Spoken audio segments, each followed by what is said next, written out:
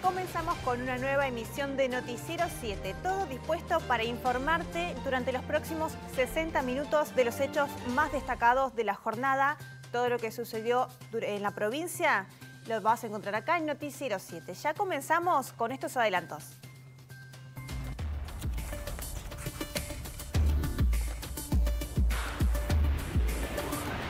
Títulos. La final del turismo nacional llega a Treleu en noviembre. Esto se da con un importante apoyo del gobierno provincial. El gobernador Mariano Arcioni firmó esta mañana el acuerdo que confirma la realización del Gran Premio Coronación de Turismo Nacional en Treleu para mediados del mes de noviembre.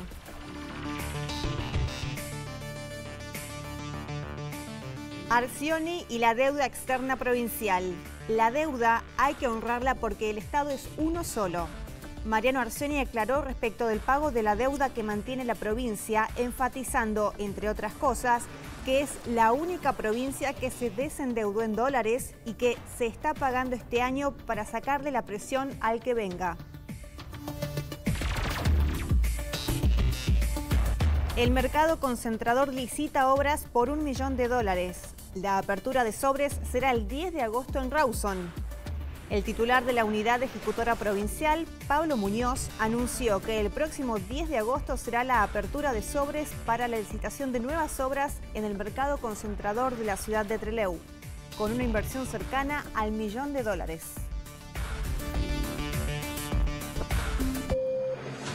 Una mujer resultó herida anoche en un múltiple accidente sobre lo que conoce sobre el área conocida como Bajada de Mancini en la ruta nacional número 25. Un automóvil que era remolcado se cruzó y chocó de frente con otro vehículo. Allí una joven resultó con fracturas expuestas. Escuchamos más información con el jefe de la Unidad Regional de Trelew, comisario Gabriel Araujo. Esto es un accidente ocurrido el día de ayer a las 20.30 horas. 95, eh, kilómetro 35, esto más precisamente en, el sitio como la bajada Mancini. Allí cuando el personal policial de comisaría Gaiman, que interviene por jurisdicción, eh, llega al lugar, se encuentra que este accidente fue un accidente múltiple, dado que eh, fue pasado por tres vehículos. Fue un 147, un, un Fiat Uno y un 4K. Al momento había personas heridas, las cuales tuvieron que ser derivadas de manera urgente al, hospital, sobre todo una, la conductora del, Fiat Espacio, los 147, fue derivada con una fractura expuesta grave, así que ella fue derivada al nosocomio. Se estableció que el Fiat Espacio 147 era, era eh, remolcado por otro vehículo, una soga, eh, esto en el tramo Ganacia-Treleu, Aparentemente se corta la, soga del, el vehículo pierde el control e impacta con un vehículo, el Fiat Uno, que venía desde Leu hacia Gaiman, de frente. Esto hace un movimiento de tijera y produce impacto con un Forca que también venía desde la dirección Treleu-Gaiman. A raíz de esto, bueno, tanto la pareja que iba en el Fiat Uno, con un menor de 7 años, también fueron, fueron hospitalizados con traumatismos no graves, pero bueno, ante esta situación fueron hospitalizados.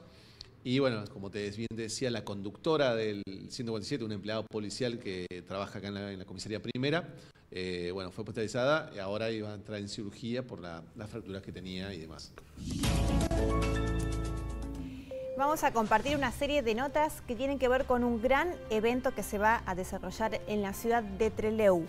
El gobernador Mariano Arcioni firmó esta mañana con la Asociación de Pilotos de Automovilismo de Turismo y también la Asociación Marivalle el acuerdo que confirma la realización del Gran Premio Coronación de Turismo Nacional entre Leu. El cierre del campeonato se va a hacer el 17, 18 y 19 del mes de noviembre. Escuchamos las expresiones del gobernador sobre lo que significa para la ciudad. Estar acompañando al TN a nivel nacional, las dos categorías, el C2 y 3 es muy importante, teniendo los pilotos que tenemos hoy en la categoría. Hoy está cumpliendo todas las carreras eh, Renzo, Renzo Blota, posibilidad de llegar al campeonato. Hace poco ganó, ¿no? En Comodoro, en SAT. La verdad que contento, contento de estar acompañándolo a Miguel Crestef, a toda la comisión directiva, por todo lo que implica más allá de eh, un espectáculo a nivel nacional que se pueda ver, se pueda mostrar Trelew, pero lo que significa Trelew, ¿no? Piensen que van a estar cuatro días o una semana con hotelería llena, comida con estaciones de servicio, con gente por gente que va a venir de toda la de toda la Argentina. La verdad que muy muy contento de estar acompañando a esta categoría ya en Comodoro Rivadavia, ahora acá entre el que nos habíamos comprometido y encima con final de campeonato. Es coincidente también, entonces eh, vamos a poder seguir mostrando lo que es Chubut, ¿no? A través de un deporte como es el deporte motor, que tiene muchísimos adeptos y sabemos lo que está para toda la zona del valle, lo que significa el deporte eh, aurístico. Vamos a escuchar la voz de otro de los protagonistas. Esta vez estoy hablando de Emanuel Moriatis, el presidente de la APAT, quien amplía la cantidad de beneficios que va a traer este importante evento de automovilismo. Lo escuchamos a Emanuel Moriatis. Un circuito que da muy lindo espectáculo. Y bueno, y este año es a poner un condimento más, que fue la definición de campeonato. Así que bueno, eh, lo, propusimos, Mariano le, encantó la idea también y, vamos por, el gran espectáculo, por, por el coronación, que tiene siempre un condimento especial, ¿no? En una final de campeonato, un campeonato que parejo, así que va a ser creo que una carrera donde se va tanto la clase 2 como la clase 3 y bueno, y en un escenario como este, que, es espectáculo asegurado, vamos a tener para que la gente de Chubut disfrute de un gran fin de semana. Eh, la idea es venir todos los años, como te dije, nos abrieron la puerta del día 1 y, bueno, y, queremos atribuirle eh, que, apostaron por nosotros, así que la idea es venir todos los años y, que bueno, la gente de Tribuleu y toda la gente de Chubut pueda tener el turismo nacional todos los años. La carrera es un buen pretexto porque alrededor se mueve mucha gente y no son tres días, es toda una semana. Lo que tiene que entender siempre la gente es que el movimiento económico que genera un espectáculo tan grande como una categoría a nivel nacional es mucho, ¿no? Es, desde el día lunes que empiezan a llegar los equipos, la gente a trabajar y donde ya empieza a mover eh, la hotelería, la gastronomía, los supermercados, los kioscos, eh, el servicio, todo, porque es gente que, estamos una semana, 10 días, eh, de un grupo muy grande de personas, así que es un gran movimiento y cree mucho la ciudad, así que por ese lado cuando los intendentes o gobernadores lo ven por ese lado es que siempre se apoya este tipo de, eventos. Es momento de hacer el repaso de los principales portales de noticias a esta hora. Vamos a comenzar con ADN Sur. Delincuentes robaron en la casa de un empresario radial de la Patagonia. Así nos informa ADN Sur, se llevaron 2 millones de pesos. Además, Vuelve todo a la normalidad. Los micros de larga distancia retoman el horario nocturno.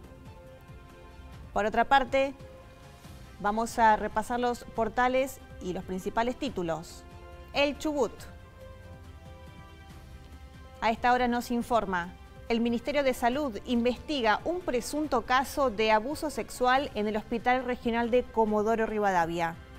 Además, en Puerto Madryn, dolor por el fallecimiento del médico Fortunato Toto Abrani. Así repasamos los principales portales de la provincia. Red 43. SOEME logró una actualización salarial del 40% para trabajadores municipales de El Maitén. Bien, así continuamos con los portales Gafet. El ministro de Turismo se pudo revertir la situación y no va a haber más problemas acerca del cierre de rutas de la provincia. Esos son los principales títulos de los portales web. A esta hora, Taceta conversó con empleados y turistas en el predio de La Trochita. Álvarez sobre el cierre de rutas. También nos informan desde Red 43. Masei, no hicimos nada. Diario Jornada dice, investigan presunto abuso sexual a menores en el hospital regional. El nuevo viento, el pesquero donde desapareció un marinero, llegó al muelle de Puerto Madryn. Además, lo que damos cuenta, choque frontal en la ruta 25 deja a una mujer gravemente herida. Estos son los principales títulos de los portales a esta hora. Vamos a una pausa, pero más información en un rato nada más.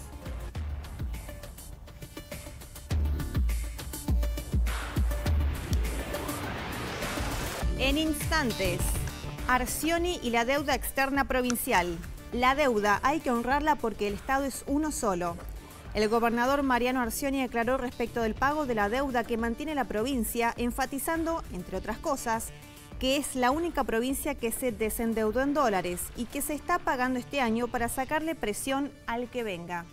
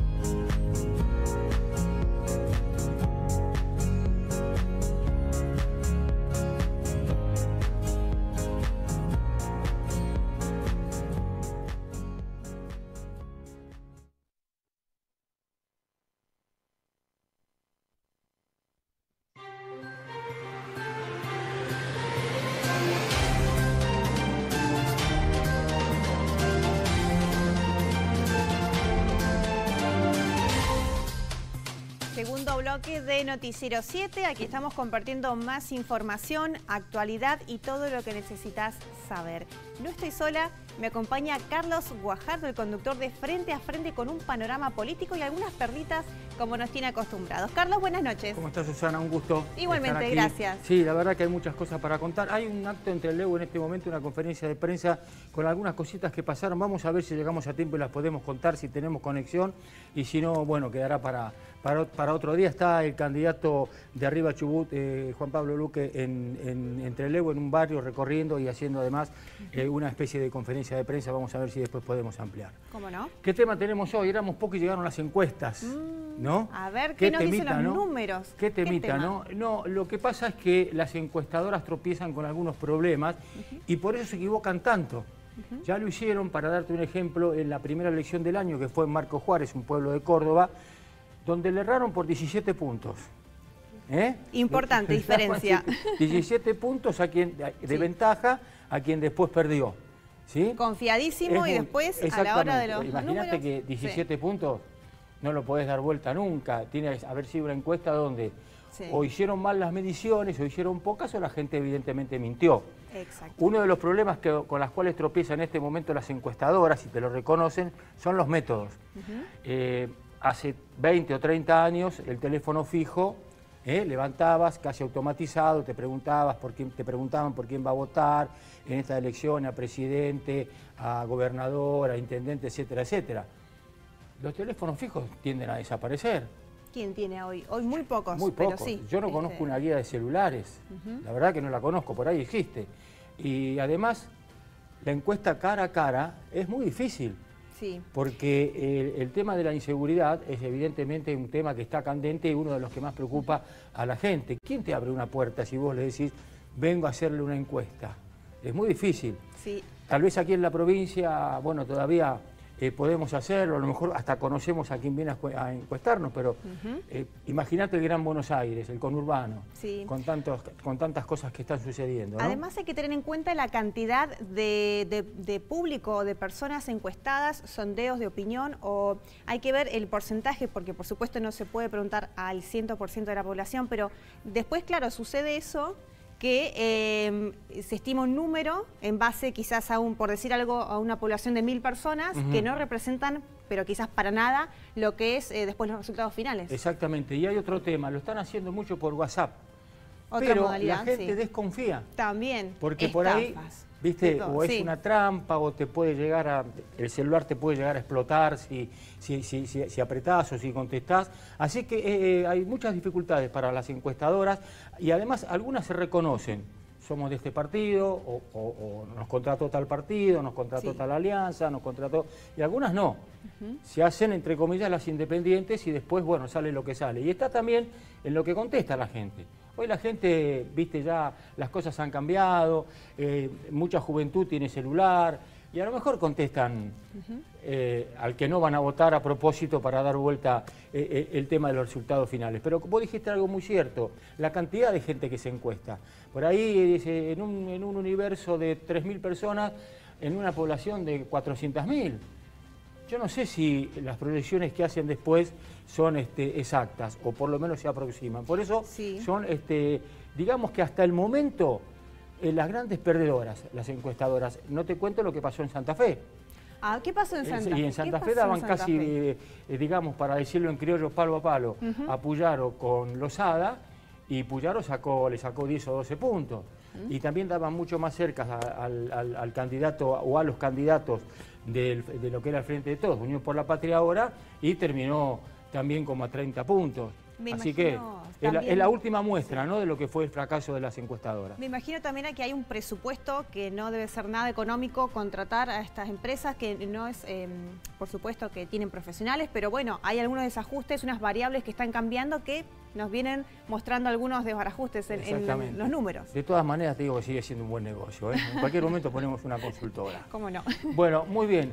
Vamos a algunas cositas que pasaron, algunas perlitas. ¿Cómo no? Me encanta. Un pueblo de Santa Fe, 200 habitantes, ¿no? Van a elección para elegir al, intendente, se presentan dos listas, ¿sí? Eh, y hay eh, dos mesas y una sola mesa para extranjeros. Sí.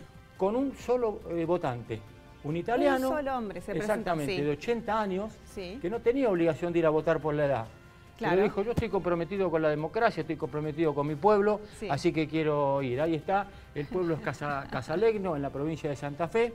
Ahí está Roberto Petri. El protagonista Exactamente. de... Los candidatos no importan, no importa, pero este hombre ahora es famoso, Exactamente. aunque no quiso serlo. Exactamente, y, no quiso serlo y además tiene mucha bronca, porque la elección terminó 69 a 69. Sí. ¿No? Y faltaba abrir la urna del extranjero. Sí. Era un solo voto. Sí. El del. Es decir, que si se sacaba ese voto de ahí, se iba a saber a quién había votado, era voto cantado. Tal cual. Te imaginás cuando lo veían por la calle los que perdían, ¿no? También podría haber votado en blanco. Esa es otra opción. Bueno, el hombre se presentó ante el Tribunal Electoral Provincial diciendo que por favor anulen su voto, lo estaba decidiendo, lo más probable es que se anule el voto y se vuelva a hacer la elección. Fíjate vos en lo que pasó, ¿no? Sí, estuve mirando un poquito también que em, esto se da en el marco de las elecciones primarias abiertas, simultáneas y obligatorias. Esto es una instancia de paso y se están preparando para la elección definitiva, digamos, este, el 10 de septiembre. Pero claro, em, este, este voto no haría una gran diferencia en esto de las pasos porque hubo, eh, ya alcanzaron el porcentaje que habilitaría a los candidatos a las próximas instancias, pero bueno, este hombre estaba muy preocupado, parece. Claro, un pueblo chiquito, pues ¿quién te cambia el voto de un pueblo tan chico? Es muy difícil que alguien de los 69 de un lado y 69 del otro cambie el voto. Siempre iba a quedar en, el voto de Roberto Petri, que llegó a los 14 años a la Argentina, tiene 80. Este, ese voto iba a ser, y además lo iban a correr, lo, iban a ir a ver de los dos partidos. Imagínate, imagínate la vida de, este hombre después de, enterarse. Se iba a tener que murar de pueblo, seguramente. ¿no? Podría haber negociado un poquito. No, no, no, eso no se hace, pero bueno, era una posibilidad. Así que el voto entonces eh, anulado. El voto, ah, posiblemente el Tribunal Electoral eh, eh, anule ese voto, no lo saquen directamente de la urna y vayan otra vez a elecciones para definir y muy posiblemente, aunque sería un poquito antidemocrático, el hombre se abstenga de ir a votar, porque por la edad puede no ir a votar, es mayor de 70, puede no ir a votar y en esta no me meto para nada. ¿sí? Así que bueno, hasta aquí llegamos. Tenemos lo de los chicos a quienes les preguntaron, cambiando un poquito de tema para ponerle algo este, un poquito... Ah, mira, antes, antes de ir a eso. Recién sacado del horno. A ver. ¿Eh? La boleta de Milei, uno de los protagonistas de las encuestas. En una baja, en otra sube, en otra se mantiene igual. Y aquí está con Trefinger, que es César Trefinger, que hizo muy buena elección en el 21. Y bueno, espera, espera repetir. Y aquí tenemos. Revisa está del horno, ¿eh? Calentita la, tinta ahí. Lo tenemos. Acá está. ¿Sí? Violeta y blanco. Exactamente. La lista 135A. ¿Eh? Aquí está, la dejo acá. Así están todos. Vamos a ir juntando todas. La gente en las campañas doblando, imprimiendo, repartiendo, preparándose ya para lo que serán las elecciones del 30. Muy bien. bien. Vamos a ver lo que pasó en una... un tiktokero se le llama, ¿no? Sí, el martes hablábamos de las redes sociales, del impacto de la llegada, que es una de las redes para los más eh, jóvenes entre 15 y 25. Exactamente, es que es lo que buscan este, los votantes con algunas cuestiones, pero esto tiene que ver con otra cosa, ¿no? Un poquito con el conocimiento, con el conocimiento geográfico de algunos chicos de, la capital federal. Le preguntaron cuál era la capital de Santa Cruz y cuál era la capital de Chubut. Geografía, a ver, a ver. ¿Querés escuchar las respuestas? Vamos a escuchar. ¿Cuál es la capital de Santa Cruz? No, ni idea. ¿Vos? Santa Cruz. Uh, me mataste, soy malísima en geografía. Eh, no sé, te tiro cualquiera porque no te doy idea. Palermo, ponele. Fuerte, muy fuerte. Eh, uf, me mataste. No, ni idea. No sé las capitales. Así están las cosas, país, y se las hemos contado. Bueno, ahí está. y también le preguntaron cuál era la capital de nuestra provincia. Nuestra provincia, la Capital, la capital de Chubut. A ver si tenemos este, las respuestas de los chicos. Después vamos a decirle el contexto en que fue esta, hecha esta encuesta, ¿no? A ver. A ver si la tenemos. ¿Cuál es la capital de Chubut? Nos vamos a sorprender. Ahí está, a ver. ¿Cuál es la capital de Chubut? Uh, me mataste en esa. No me sé nada y la verdad que me mataste. No sé. ¿Cuál se te ocurre que puede ser? ¿La capital? La capital. Ah. Eh, no, no, no sé, no tengo idea. Vos me estás cargando a mí, ¿no? Para. Chaco. ¿Cuál? No, no sé. ¿Qué sé? Chubut. ¿Cuál? Chubut.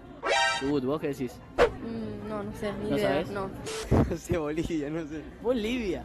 Así están las cosas país y se las hemos contado. Bueno, bueno, así es. ¿Dónde fue hecho? Por lo que se ve, Sí. en algún lugar, boliche, un lugar nocturno, estaban los chicos Claro. divirtiéndose y va uno y le pregunta cuál es la capital de Santa Cruz, cuál es la capital de Chubut. Pol- Nos Claro. enteramos que Bolivia, Palermo, Chaco, El mapa se cambió un poquito desde la última vez que lo vi, pero claro, o sea, los chicos por ahí ya a las 2, 3 de la mañana capaz que fue, claro, los TikTokers van, le preguntan, che, ¿qué, qué sabes de esto? Y bueno, los agarraron un poco en, en frío los chicos. y estaban en otra. Estaban en otra, estaban en otra, pero bueno. Y sin saber cuáles eran la capital de las Bien. dos pro- últimas provincias, bueno, que era Tierra del Fuego, las provincias del sur de la República Argentina. Bien, eh, Carlos, vamos a invitar a la gente porque Darío James eh, dio una entrevista en frente a frente, así que bueno, la invitación la puedes hacer vos Así también. es, y les cuento que contó, eh, además de la parte política, contó muchas cosas de su vida privada, de, de lo que le pasó, de lo que tuvo que enfrentar, de su resiliencia, de todo lo que, lo que vivió hasta este momento y la verdad que es muy impactante. Lo hizo, viste, de una manera, ¿cómo te diría? Muy, muy, muy campechana, muy de hombre de chacra, ¿no? Un hombre que se dedicó a la política hace muy poquito y que ahora va eh, a la- para la reelección. Así que le recomendamos que es una muy, muy buena, muy buen testimonio de Darío James. Perfecto. Hoy entonces, después del sorteo de la quiniela 21 a 10, 21 a 15, Exacto. y también lo podés seguir a través de YouTube C7 Chubut, allí buscas las repeticiones y los programas. Pero bueno, tenemos todo el panorama político con Carlos. Muchísimas gracias por venir. A vos, hasta luego. Hasta luego. Bueno, es momento de seguir con Noticiero 7. Vamos a presentar al hombre del deporte, Juan Mondragón. Adelante. Hola, hola, muchas gracias. ¿Cómo le va, provincia? Muy buenas noches. Se viene el fin de semana, se viene la actividad y la agenda para el fútbol federal y nacional. Ahí nos vamos a meter para repasar lo de la segunda categoría del fútbol argentino. ¿Qué va a suceder? Tendrá la presentación de Guillermo Brown con nuevo entrenador, Leonardo Lemos, el ex Quilmes y que llega de colegiales que se hizo cargo ante la salida del Gato Esmerado, estará jugando la fecha 26, el sábado, 13 horas. La presentación para la banda que está decimoséptimo en el campeonato con 24 puntos, a un punto de la promoción y a dos del descenso. All Boys será el rival decimocuarto en esta tabla de posiciones, tiene 28 puntos, cuatro más que Guillermo Brown. El arbitraje estará a cargo de Nahuel Viñas. Brown que lleva ocho partidos sin ganar, cinco partidos perdidos y tres empates para el equipo portuario y como local lleva cuatro sin ganar, tres perdidos y un partido empatado para el equipo de Puerto Madryn que en su última presentación cayó en Córdoba, en Río Cuarto, ante estudiantes por 1 a 0. En la vereda de enfrente, el Deportivo Madryn también se va a presentar el día sábado y ahí nos metemos para repasar la actualidad del equipo aurinegro que juega el próximo sábado a las 15 horas, fecha 23, en la otra zona que tiene este Nacional B. Estará recibiendo a Ferrocarril Oeste de Caballito, el verde que llega en la sexta ubicación, el Deportivo Madrid que está décimo a dos puntos de meterse en el reducido. Madrid que lleva cinco partidos sin conocer la derrota, tres empates y dos victorias para el equipo de Andrés Iliana que como visitante empató sin goles ante Chacarita y Riestra en su última presentación y 1-1 ante Atlanta. Y como local derrotó 1 a 0 a Tristán Suárez y 1 a 0 a Racing de Córdoba con el gol que estamos viendo del equipo aurinegro. En la última presentación 0 a 0 con Riestra y el arbitraje que estará a cargo de Diego Ceballos el sábado 15 horas se presenta en el Coliseo del Golfo el equipo chubutense una nueva jornada de esta segunda categoría del fútbol argentino. A la vuelta, más fútbol, torneo federal de fútbol y también vamos a hablar de básquetbol. Muchas gracias Juan. En instantes entonces más información deportiva. Seguimos con otros datos acerca del pago de la deuda. El gobernador Mariano Arcioni hizo referencia a este tema, indicando que se está trabajando en el pago justamente para alivianar lo que será el próximo gobierno. Además, volvió a decir que eh, Chubut es la única provincia que se desendeudó en dólares. Esto dijo. soy de la idea de que hay que honrar la deuda, porque a ver, se puede decir, pero lo que usted acaba de hacer hincapié de lo que se ha dicho ayer, con una irresponsabilidad total. Usted periodista, usted sabe muy bien, un periodista especializado sabe bien lo que significa no pagar una deuda. Primero que no se puede no pagar. Primero, no se puede no pagar. Entonces no hay que desinformar. No se puede no pagar porque hay un fideicomiso que se tomó en el 2016, bien, como tantas otras deudas, en el cual que antes de que te liquiden la plata ya te retienen la plata. Entonces no se puede. La deuda lamentablemente hay que ahorrarla, el Estado es uno, yo me he hecho cargo de mucha deuda anterior, muchísimas deudas, y la estamos pagando y, los, es más, somos la única provincia eh, del país que se desendeudó en moneda extranjera. Todo lo que dijeron ayer son barbaridades, bien con una desinformación, bien de que me llama la atención la ignorancia de los precandidatos en cuanto a cómo lo planteaban. Nosotros tenemos una provincia con casi mil millones de dólares de deuda, 980 millones de deuda. Hoy están 560. Y decían que nosotros pateamos la, eh, la deuda para más adelante. Y ustedes saben muy bien, y desmiéntame que la deuda la estamos pagando este año para poder sacarle la presión al que venga. Estamos pagando cerca de 30, 33 millones de dólares por bimestre, por bimestre. Perdón, es lo mismo que me está pasando a mí. ¿Yo lo estoy pagando o no lo estoy pagando? Yo lo estoy pagando. ¿Por qué lo va a condicionar? Eh, si yo lo, puedo pagar, ¿por qué no lo va a poder, pagar el próximo? Hay que desendeudar y nosotros lo estamos pagando. Entonces hay que informar bien, hay que interiorizarse, interiorizarse bien. A 10 días de las elecciones provinciales, el gobernador Mariano Arseni contó cómo se prepara para esta fecha, la tranquilidad con la que vive estos días previos y además indicó que la mejor encuesta va a ser después del 30 de julio, después de las 6 de la tarde. Lo escuchamos. Yo voy a ir a votar, ¿no? Tranquilo, eh, voy a pasar un domingo más en familia y después de las 6 de la tarde vamos a ver los resultados.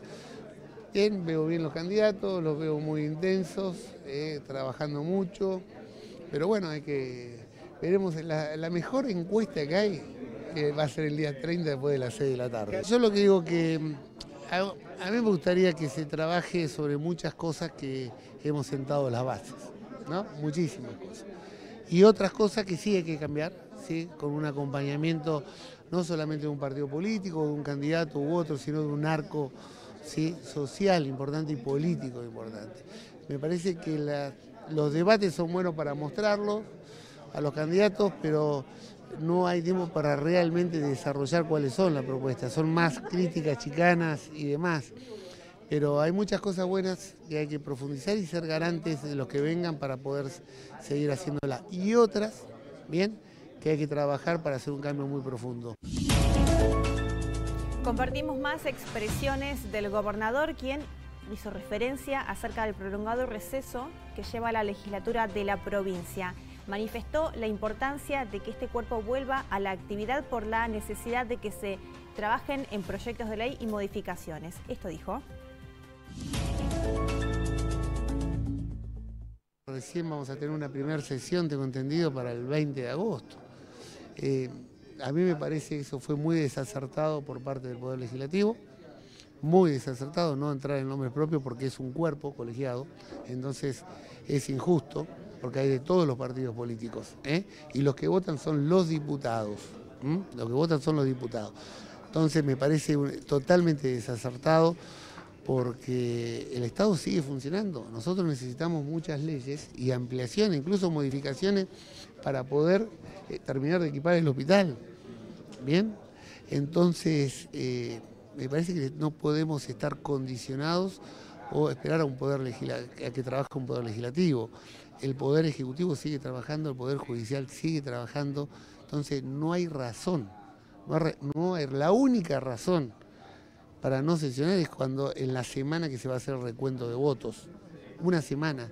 Es decir, no sé cuál fue el justificativo, la verdad que me parece una barbaridad y una falta de respeto para todos los chubutenses. Y no hablo de nombre propio ni de partido, porque todos, absolutamente todos los que están sentados ahí votaron, de todos los partidos políticos. Y los que votan son los diputados. Aunque estuvieran abocados a la campaña, no hay excusa. ¿Me explico? No, no hay excusa porque el Estado tiene que seguir funcionando. Es una falta de respeto para todos los chubutenses. El Estado tiene que seguir funcionando. Puede trabajar eh, eh, después del horario de laburo, puede trabajar el fin de semana, puede hacer lo que vos quieras. ¿Bien? Pero el Estado tiene que funcionar. Pasamos al ámbito educativo. La Universidad del Chubut tiene 72 nuevos profesionales. En agosto se van a realizar estos actos de colación donde van a recibir su tan ansiado título. Vamos a escuchar la palabra del secretario académico de la Universidad del Chubut, Aldo Ana. Durante el mes de agosto la universidad estará llevando a cabo tres actos de colación en la ciudad de Rawson el día 4 de agosto a las 4 de la tarde, en la ciudad de Puerto Madryn el 11 de agosto a las 5 de la tarde y en la ciudad de Esquel el 25 de agosto al mediodía, a las 12 del mediodía. Em, obviamente en Esquel, eh, tratando de prevenir algunas cuestiones climáticas y alejarnos un poco de los fríos, se planificó esa, esa fecha y ese horario. Y bueno, 72 nuevas y nuevos egresados de la universidad que, que, nos llena de orgullo y que la verdad estamos muy contentos porque año tras año venimos afianzando la cantidad de, egresados. Eh, tenemos 22 nuevas y nuevos enfermeros, 22 eh, eh, técnicos y técnicas de gestión de información de salud, 18 nuevas este, terapeutas, acompañantes terapéuticas, perdón, cinco eh, técnicos en energía renovable, tres técnicos en paleontología y dos técnicos en desarrollo de software. Eh, hay carreras que las teníamos de manera presencial y ahora estamos tramitando la semipresencialidad y en algunos casos la eh, virtualidad completa, como es el caso de la licenciatura en acompañamiento terapéutico que más allá de que la virtualidad sea total en el dictado de clases, reglamentariamente los, exámenes finales se deben tomar eh, en una sede de la universidad. Este receso que fue desfasado este, nos obligó a, cambiar las mesas de exámenes, pero bueno, eh, volvemos del receso el día creo que es primero de agosto. Eh, tenemos mesas de exámenes en esa misma semana y las clases comienzan a la semana siguiente, que creo que es 7 de agosto. Qué alegría poder compartir esto, este tipo de noticias y lo que significa para estos egresados y para sus familias poder recibir su título y así poder también eh, ver los frutos de la Universidad del Chubut. Continuamos con la información. El Ministerio de Producción invita a aquellas emprendedoras a hacer una capacitación en herramientas de comercialización. Esto se va a realizar este sábado en Comodoro Rivadavia. Para más información vamos a escuchar a Laura Fernández, la directora de promoción. Día sábado, entre las 10 y las 20 horas, en instalaciones del Centro de Información Pública Máximo Abásalo al 700, se va a realizar una capacitación sobre fortalecimiento a los emprendedores y creación de nuevas empresas. Va a ser, es una jornada que está siendo organizada junto con Comodoro Conocimiento, eh, quien va a brindar al principio de la misma eh, un panel sobre herramientas para emprendedores. Durante el transcurso de la tarde van a participar distintas emprendedoras de la ciudad de Comodoro Rivadavia contando bueno, eh, distintas eh, experiencias y herramientas que, pueden utilizar los emprendedores y las emprendedoras marketing digital, eh, publicidad, financiamiento, etcétera. Y el cierre de la jornada va a ser alrededor de las 18 horas con la presencia de Vanessa Durán, que es una emprendedora ligada a, la experiencia Endeavor. Esto surgió a partir de la capacitación que se dio el mes pasado, las jornadas con Matilda Blanco, que también, bueno, habló sobre el tema de mujer emprendedora y, bueno, toda aquella temática que está ligada a esto. Y bueno, a partir de ahí surgió hacer algo un poco más extenso y bueno, la Subsecretaría de Industria y el Ministerio eh, de, Agricultura, Ganadería, Industria y Comercio se abocaron a la organización, en conjunto con, la agencia Comodoro, que también brinda ciertas eh, herramientas para el desarrollo de las mismas. Y van a ser aproximadamente unas 10 horas con las distintas capacitaciones y el cierre va a ser alrededor de las 18 horas. Muy interesante la propuesta para aquellas que quieran participar. Es una jornada extensa, eh, muy enriquecedora, donde pueden compartir, conocerse, capacitarse y así mejorar los emprendimientos. Entonces allí en Comodoro este sábado. Es momento de repasar nuestras redes sociales. Puedes encontrarnos en Facebook, allí pones en el buscador Canal 7 Televisión del Chubut. Le das me gusta, puedes activar las notificaciones y así vas a poder ver las transmisiones en vivo, todos los días de la programación de Canal 7. puedes comunicarte, allí tenemos un email donde podés mandar tus mensajes. Vas a poder revivir toda la información deportiva, turística, cultural, política que te proponemos. Allí vemos también la transmisión de Juntos al Mediodía. También vamos a decirte que podés buscarnos en el canal de YouTube Noticiero 7, allí también podés revivir todos los programas, anotar las direcciones, los emails a veces que compartimos acerca de las noticias. Podés eh, volver a ver Noticiero 7 y toda la programación vas a, a poder ver frente a frente también, hoy a las 21.15 y mantenerte informado a través de las redes sociales. Bien, así llegamos al final de este bloque. Quédate porque tenemos más información. En instantes, el mercado concentrador licita obras por un millón de dólares. La apertura de sobres será el 10 de agosto en Rawson. El titular de la Unidad Ejecutora Provincial, Pablo Muñoz, anunció que el próximo 10 de agosto será la apertura de sobres para la licitación de nuevas obras en el mercado concentrador de la ciudad de Trelew, con una inversión cercana al millón de dólares.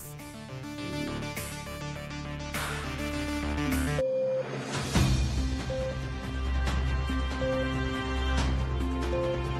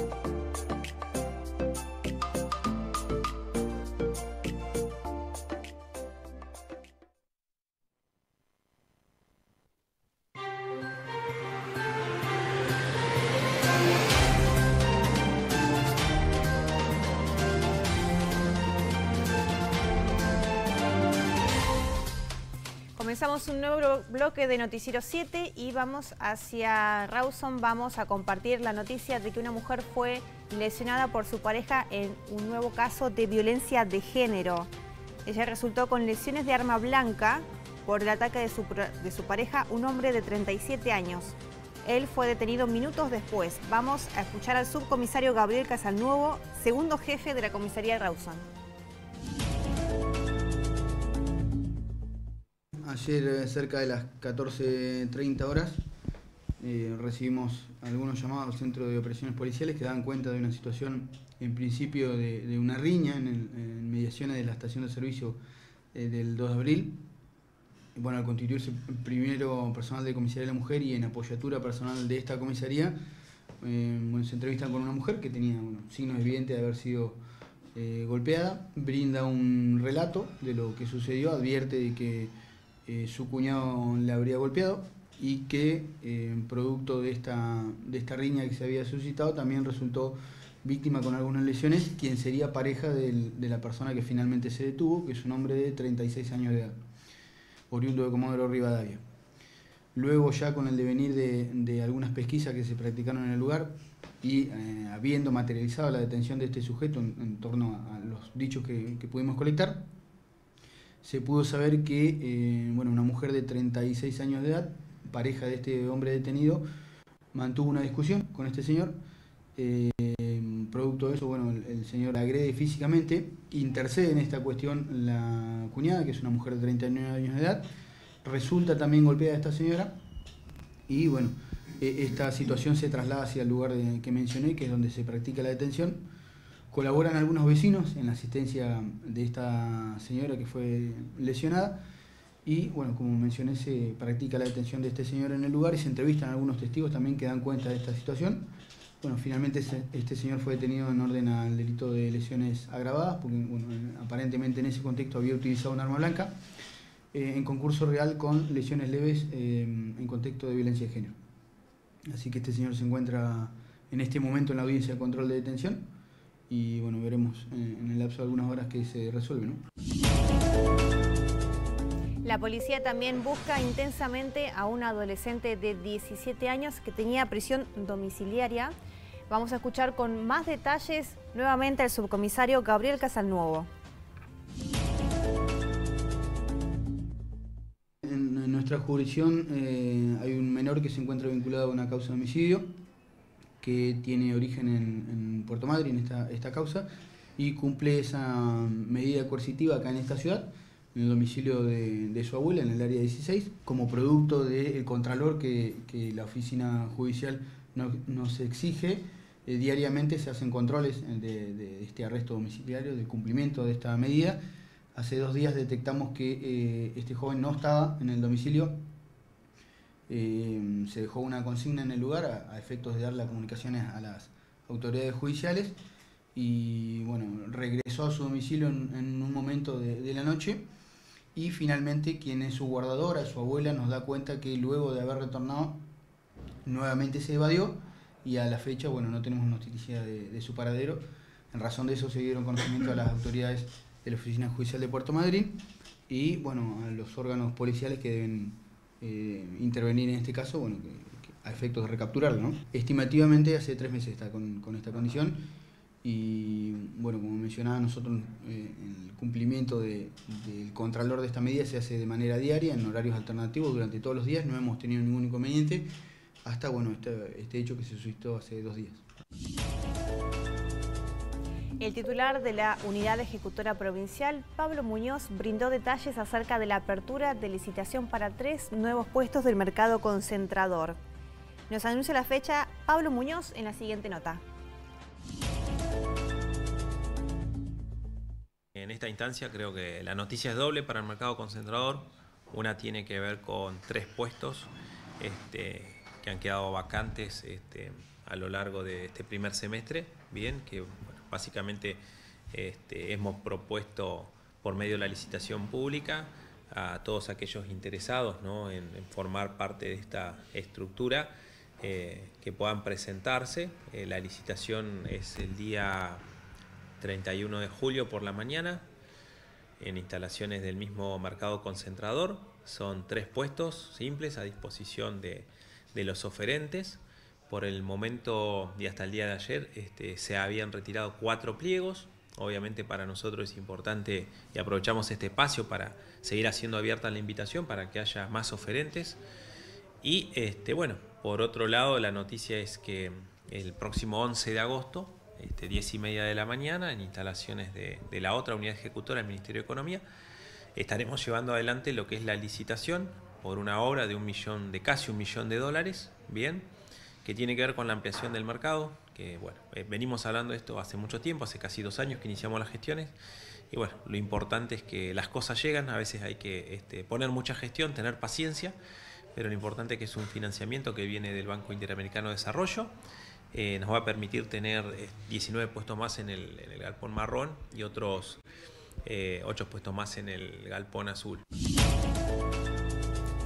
En el tramo final de la campaña proselitista eh, de cara a las elecciones del 30 de julio, el candidato a gobernador Juan Pablo Luque recorrió junto a la militancia las calles de Treleu, allí en el barrio Planta de Gas. Vamos a escuchar las expresiones de Juan Pablo Luque.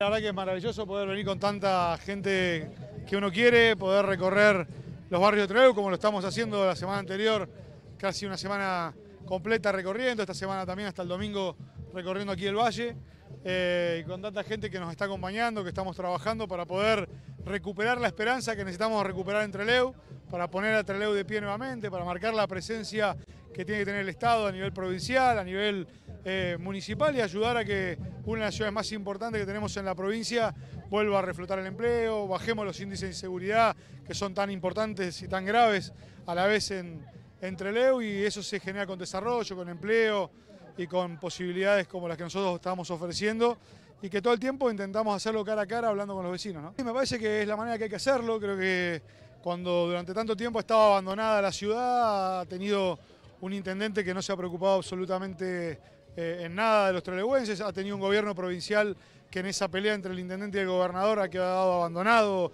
una de las ciudades, vuelvo a repetir, que tenemos que tener de pie rápidamente, necesitamos que Trelew esté nuevamente eh, con, la generación de ese polo logístico que queremos llevar adelante, de esa creación de universidades que nos permitan poder hacer todo un desarrollo eh, dentro del polo del conocimiento que nosotros estamos armando y, que me parece la mejor manera recorriendo los barrios y conociendo la realidad a primera mano de las prioridades que tenemos que trabajar a partir de que ganemos las elecciones el próximo domingo.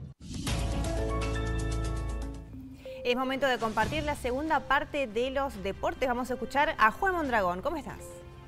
Muy bien, muchas gracias. Ahora sí, deporte, hablamos del torneo Federal A de fútbol y nos metemos con Germinal, que tendrá actividad también el fin de semana, por supuesto, el equipo de la capital provincial que estará jugando en Bahía Blanca por la fecha 22 de esta tercera categoría del fútbol argentino. Visita a Liniers el sábado a las 15 horas Germinal con su nuevo entrenador Cristian Corrales, que está séptimo a siete puntos de meterse en zona de clasificación, pero lo más importante que le escapa al descenso, ya se puso a cinco de la posición no deseada. En el historial de este torneo, Germinal y Nier jugaron dos veces, como local Germinal ganó 1 a 0, como visitante perdió 2 a 1 el equipo capitalino. El arbitraje que estará a cargo de Matías Vileone Carpio.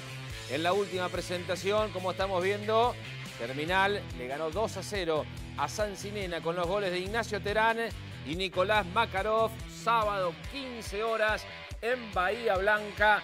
Juega Germinal, visita a Liniers. Momento ahora para el básquetbol porque hay muy buenas noticias para el trelewense Gustavo Zaponig.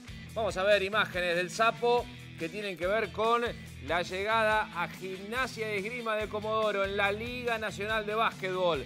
El trelewense que viene de ser asistente en el Mundial Sub-19 que se disputó en Hungría, donde Argentina logró un valioso quinto puesto al derrotar en la última presentación a una de las máximas potencias como es Serbia Ahora se conoció que se va a sumar a Gimnasia de Grima de Comodoro para ser el asistente de otro chubutense de Martín Villagrán.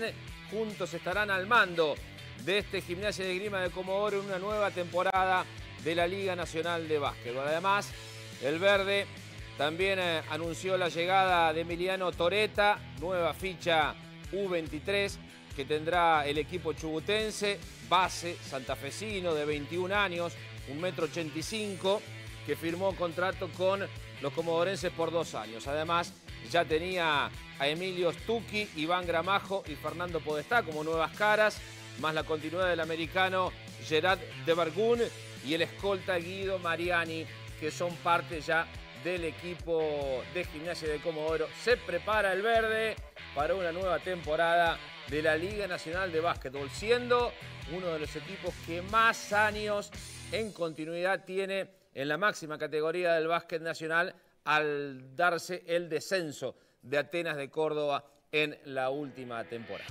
Acá llegamos, nos encontramos mañana, por supuesto en el cierre de la semana con mucho más deporte.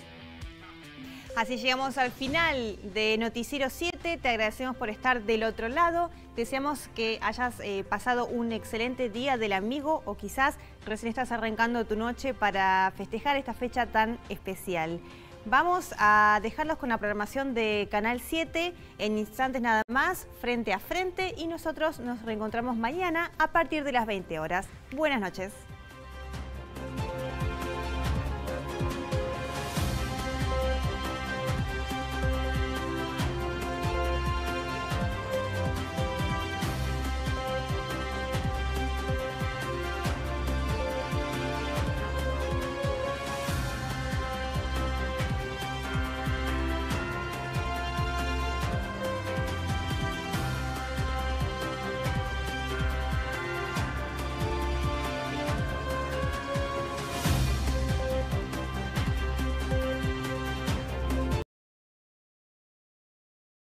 Desde el Chubut, Patagonia, Argentina.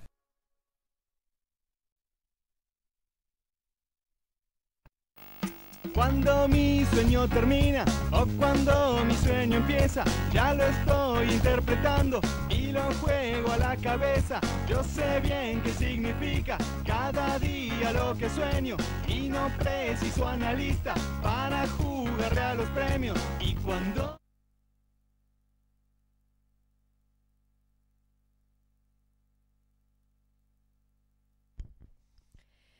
buenas noches, bienvenidos. Es momento de jugar en primer lugar con el sorteo nocturno de la quinila del Chubut y luego también con la quinila poseada. Nos acompañan hoy la escribana María Laura Bonavía y la jefa de sorteos Mariana García. Comenzamos a jugar, les deseamos la mejor de las suertes. Adelante, escribana.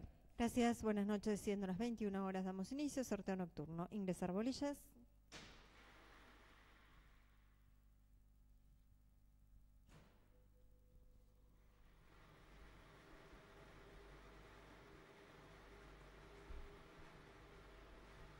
Sortea. 4425 4425 ubicación 12. Ingresar bolillas. Sortea. 0017 0017 ubicación 5. Ingresar bolillas. Sortea. 6058 6058 ubicación 16. Ingresar bolillas. Sortea. 5476 5476 ubicación 20. Ingresar bolillas. Sortea.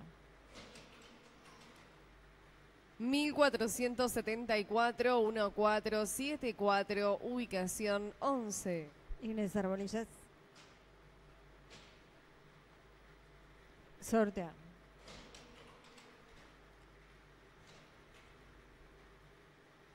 Mil doscientos cincuenta, uno, dos, cinco, cero, ubicación diecinueve. Ingresar bolillas.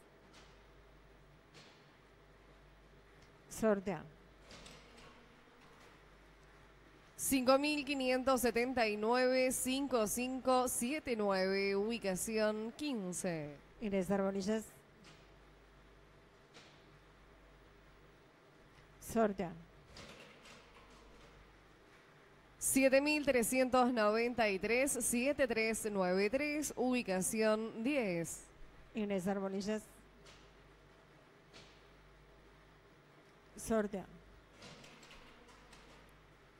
6496-6496, ubicación 2. Inés Arbolillas. Sortea. 7742-7742, ubicación 8. Inés Arbolillas. Sortea. 3527-3527, ubicación 18. Inés Arbolillas. Sortea. 0812-0812, ubicación 13. Inés Arbolillas. Sortea. 8619-8619, ubicación 14. Inés Arbolillas.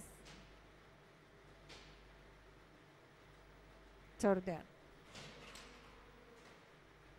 3935-3935, ubicación 17. Inés Arbolillas. Sortea. 6307-6307, ubicación 4. Inés Arbolillas. Sortea. 3723-3723, ubicación 6. Inés Arbolillas. Sortea. 9669-9669, ubicación 3. Inés Arbolillas. Sortea. 9759-9759, ubicación 9. Inés Arbolillas.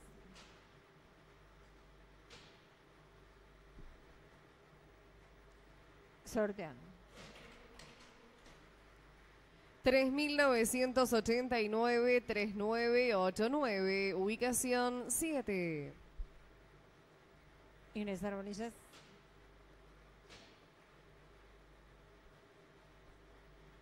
Sortean.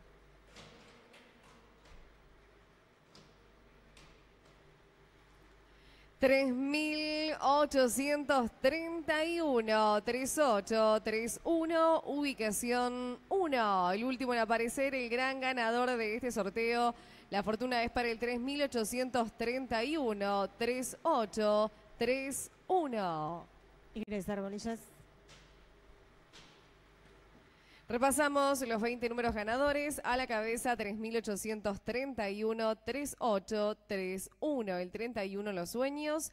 La luz. Le siguen los 10. 6496 9669 6307 0017 3723 3989 7742 9759 7393 y a los 20 1474 4425 0812 8619 5579 6058 3935 3527, 1250 y 5476. Reiteramos a la cabeza 3831. De esta manera finalizamos el sorteo nocturno, hacemos una breve pausa y enseguida jugamos con la quiniela poseada.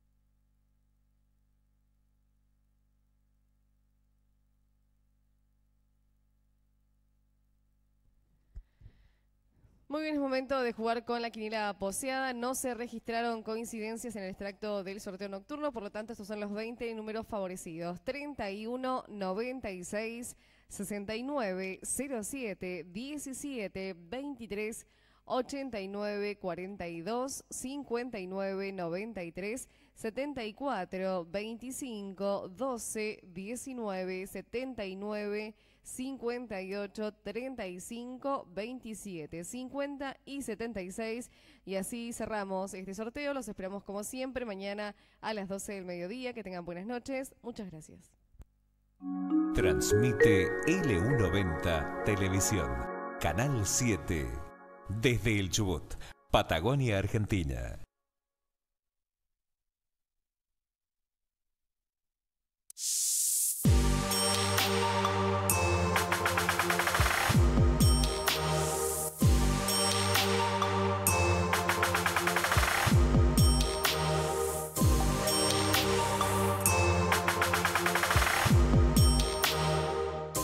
Muy bien, ¿cómo les va a todos? Aquí estamos ante una nueva edición de Frente a Frente para llevar la opinión, para llevar lo que piensan los, que van a ser candidatos en las próximas elecciones del 30 de julio, que están aquí nomás a la vuelta de la esquina. Y hoy estamos con quien va a ir por la reelección en Gaiman, Darío Jane, un hombre nuevo en la política, se puede decir, porque creo que en el 19 tuvieron que convencerte bastante para que para que agarres, entre comillas, la candidatura. ¿no? ¿Cómo estás? Buenas noches. Eh, buenas noches, bueno, es un privilegio estar en este canal que se escucha en toda la provincia.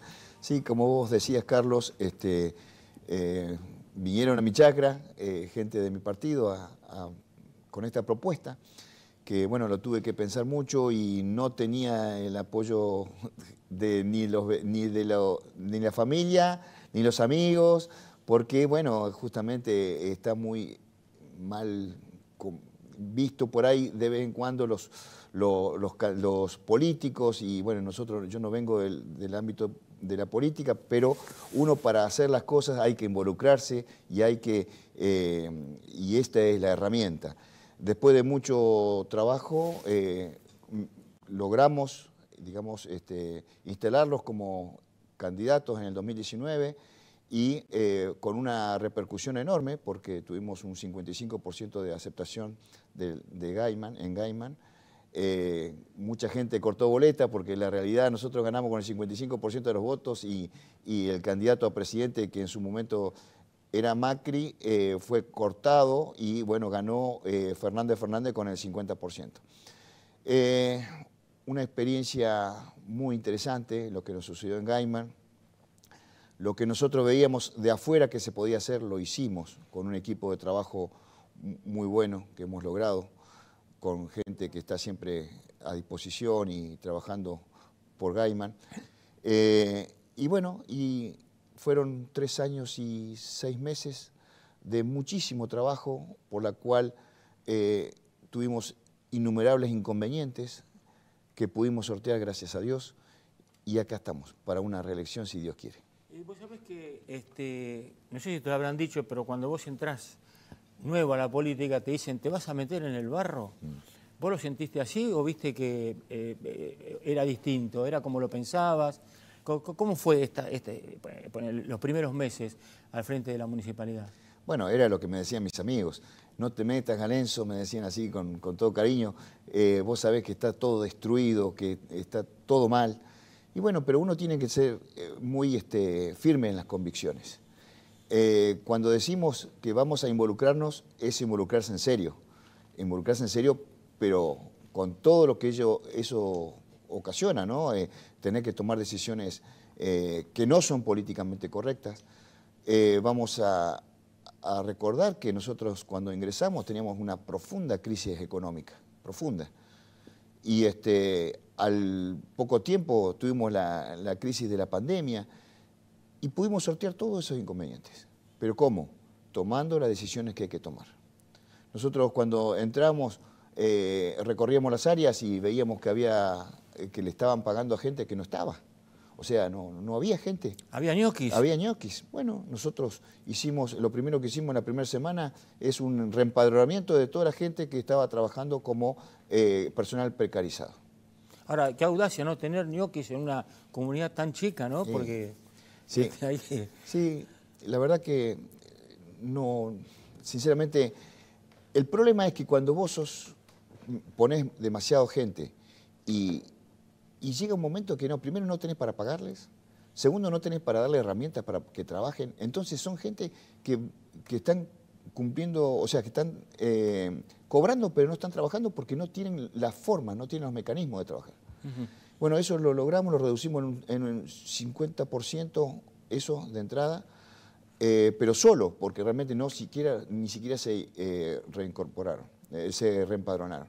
Así que bueno, eso por un lado, después el tema de, teníamos mucha deuda con proveedores, no nos, nadie nos vendía nada, nada, teníamos deuda en todo Gaiman, eh, lo reincorporé, o sea, lo, hice una reunión con todos los, comerciantes para poder eh, lograr eh, que nos, nos vuelvan a vender porque... O que aguanten un poco. O que no aguanten. Bueno, el compromiso fue de que íbamos a pagar el corriente y una trazada, el corriente y una trazada. Y en poco tiempo saneamos toda la deuda. Hoy todo el mundo viene a la Municipalidad de Gaiman porque quieren ser proveedor de la Municipalidad de Gaiman. estamos pagando a 20 días máximo. Y, eso es responsabilidad. Uno tiene que, igual que con el tema de los sueldos, nosotros cuando ingresamos teníamos dos masas y media salarial sin pagar. Teníamos un conflicto ya armado de ocho días antes de que yo asumiera la gestión. Habían eh, ocho días de paro en la municipalidad de Gaiman. Bueno, nosotros nos comprometimos, porque sabíamos cómo hacerlo, de pagar lo que se debía y desde ese momento en adelante vamos a pagar en tiempo y forma. En la gestión nuestra nunca pagamos más allá del primer día hábil del mes. Siempre fue así. Hemos levantado los sueldos eh, en paritarias con los acumulativos un 380% en, en estos tres años. Los aguinaldos se pagaron en tiempo y forma. Eh, habían cosas que eran increíbles, como por ejemplo el pago de título secundario o terciario eran una miseria, 25 pesos, 35 pesos, bueno, ahora están en lo que corresponde. Eh, levantamos lo que es la parte de, antigüedad, cobraban un 2% de antigüedad sobre el básico, ahora lo llevamos al 3%, que es muy importante para el trabajador. Estamos trabajando también justamente en el convenio colectivo de trabajo de Luis, de Luis el convenio colectivo de trabajo de los municipales, y, este, y eso es todo bueno para el personal. Ropa de trabajo en tiempo y forma, no solamente a la parte del personal que está en obras públicas, sino también a la gente administrativa, eh, maquinarias. Bueno, todas estas cosas de a poquito, porque realmente falta mucho para hacer todavía, falta muchísimo. Pero lo más importante, en líneas generales, en estos tres años, hoy el municipio económicamente está equilibrado. Te traicionó el subconsciente porque sos un hombre muy ligado a la cooperativa. Exactamente. Eh, muy ligado a luz y fuerza, es para vos casi la vida, ¿no? Sí. Tantos años. ¿Añorás eso? O, o, qué sé yo, en este tiempo decís, no, le voy a dedicar todo este tiempo al, municipio, al pueblo. Y, te quiero preguntar también si alguna vez pensaste o dijiste, ¿qué hago yo acá? ¿No? Después, porque no era tu hábitat natural, digamos, ¿no? Y 30 años en la cooperativa eléctrica estaba eh, ocupando el cargo más importante de la, cooperativa eléctrica después del gerente. Estaba en la parte de, compras, personal y administración, lo hacía todo solo. Eh, sí, nada que ver una empresa privada con una empresa de Estado. Sinceramente me costó mucho aprender a trabajar en el Estado sobre todo con la burocracia que existe, ¿no es cierto? Para hacer todo lo que tenemos que hacer es mucha burocracia. ¿Y, lograste hacerle frente a la burocracia y ganarle a la burocracia? Me está costando muchísimo, lo estamos haciendo, sí, lo estamos Muchos papeles, ¿no? Un papel, otro papel, otro papel, Es increíble, increíble. Bueno, pero eso no es por casualidad, eso, eso es porque se ha hecho muchísimos años las cosas mal. Entonces ahora, lamentablemente, tiene que existir esta burocracia para que las cosas se hagan bien. Y con todo eso se hacen mal igual. Esa es la realidad. Eh, pero bueno, em, no, es un cambio muy grande, muy grande, extremadamente grande, pero como yo te comentaba, eh, desde, desde, la forma de trabajar, de los sueldos, todo es distinto. Pero bueno, eh, considero de que en la vida uno nace y muere y en el medio tiene que dejar algo, que todo no es plata en la vida, ¿cierto? Y bueno, y el compromiso que nosotros asumimos, yo soy una persona totalmente involucrada con la comunidad, pero no desde ahora, no solamente en la cooperativa eléctrica. Yo estuve en el cuartel de bomberos voluntario eh, más de 10 años, eh, cuando recién se inició, no existía el cuartel de bomberos, nosotros, un grupo de jóvenes que teníamos entre 19 y 20 años, fuimos los primeros bomberos de Gaiman. Estuve en la, cooperadora de la Escuela 130, estuve en el Club Hípico Sargento Cabral, estuve en la muestra agropecuaria del Valle, estuve ocho años como tesorero, eh, en la cooperadora hospital, en la cooperadora del Colegio Camuy, bueno, siempre involucrada con la comunidad. Y siempre digo, cuando ves que las cosas no están bien, hay que involucrarse, porque de afuera todos son Gardel, todos saben hacer las cosas, pero hay que meterse en el barro, y enfrentarla y hacer las cosas con sentido común sobre todas las cosas y responsabilidad y honestidad. Eh, y esa es la clave, esa es la clave. Yo considero de que después de haber encontrado una municipalidad como, como, como estaba, ¿no es cierto?, fundida, que había kioscos en todas las áreas, Kioscos. Eh, kioscos, sí, eran cosas que se manejaban mal, se manejaban mal. Es que cada área tenía su kiosquito, digamos. Exactamente. Yo te, voy a entiende, se entiende. te voy a dar un ejemplo. Sí. Un ejemplo. Porque recordemos que la municipalidad de Gaiman no es como cualquier municipio. Es mucho más difícil. Porque la municipalidad de Gaiman tiene servicios públicos como agua potable y cloacas, que no lo tiene la municipalidad de Trelew, ni de Rawson, ni de Madrid. Son servicios deficitarios. Bueno, lo primero que hago es empezar a recorrer las, las áreas, a mirar cómo se, cómo se trabajaba. Voy al área de redes de agua y veo, dame el plano de distribución, cosa que para mí era normal por el, por el servicio eléctrico, dame el plano de distribución de agua. No hay. ¿Cómo que no hay? ¿Y cómo saben ustedes cuáles son las redes troncales, cuáles son las redes, eh, las redes secundarias? ¿Dónde están las llaves de corte? De cada... ¿Cómo saben? No, porque hay un empleado un empleado. Que la tiene acá. La tiene acá. El Panza Reyes. El Panza Reyes era el empleado que tenía todo acá. Así le decían, el Panza Reyes. El panza, Reyes. No me imagino por qué, pero no el, importa. El 30 años de servicio, el señor. Entonces, este, le digo a, este señor Reyes, eh, yo necesito que todo lo que tenés en tu cabecita se lo traslade a este, a este personal que está acá con Autocar y lo vamos a trasladar todo esto acá. Entonces vamos a... Bueno, así, Así fue todo. Ese es un kiosco, claro. bueno. El único que sabía. Eh, sí, pero aparte de eso, ¿cómo se manejaban? Tenían. ustedes saben perfectamente que en servicios públicos que tenés que tener eh, horarios rotativos porque tenés turnos de, guardia, eh, porque son justamente servicios públicos. Es de 24 horas. 24 horas. Bueno, ¿cómo se manejaban? Manejaban así. Trabajaban todos a la mañana y de las 2 de la tarde en adelante eran todas horas extras. Se cerraban todas las canillas. No, no seguían trabajando normalmente, pero eran horas extras. Claro, no eran turnos comunes. No eran turnos Como debería ser. No, bueno. Entonces, tenían el personal, o sea, tenían el personal necesario. ¿Cómo van a...? Bueno, ¿por qué? Tenían más en, horas extras que en, salario. Entonces, claro, era complejo el tema. No, entonces, bueno, acá se cortó, ahora va a haber dos, tres turnos horarios, mañana, tarde y noche. El de noche va a ser guardia pasiva. Si se va, si hay un problema, se va a ver y bueno, si se, evalúa, si hay que arreglarlo en ese momento se arregla, si no se deja para otro día. Por supuesto que al personal no le gustó nada. Y te habrán querido matar. Claro, yo sinceramente para mí era muy complejo, pero yo le tuve que hablar bien. Le digo, ustedes están muy complicados para cobrar sueldo. Si quieren cobrar sueldo tenemos que hacerlo de esta forma. Bueno, logramos un acuerdo, eh, le dimos un plus por guardias rotativas para los fines de semana, feriados y todas estas cosas, y con eso anduvimos muy bien. Por eso te digo yo que cada área era un problema. El área de acción social, una de las áreas más importantes, hacía tres años que no estaba funcionando, estaba el personal, pero no, se, hacía nada. Y así cada uno de los sectores. Una vez que ordenamos todo, ahora eh, se trabaja en conjunto, sobre todo en lo que es la parte de, de obras públicas, espacios verdes, cementerio municipal, es muy grande, cementerio municipal, basural, se trabaja todo en equipo y lo que es la parte cultural, que es la Dirección de Cultura, Turismo y Deporte también trabajan juntos para poder hacer distintos eventos. En unos días vas por la, por la reelección. ¿Te, ¿Te tuvieron que convencer o vos dijiste voy a seguir cuatro años más para terminar lo que comencé en el 19? Bueno, eh, justamente pasó que a mí lo que más me, me motiva por la reelección es que si la Argentina hay un cambio de gobierno. un gobierno tanto que se alinee en el gobierno nacional, provincial y municipal, porque es muy difícil para un gobierno que no es del espacio eh, ser intendente en una, en una localidad. Nosotros sinceramente tuvimos que ser todos solos, solos. Pero quiero destacar algo, tuve una, una relación excelente con el gobierno provincial, excelente. Y todo lo que nosotros eh, planteamos y quisimos hacer, de a poco nos ayudaron, pero tuvimos muy buena relación, eso lo tengo que destacar.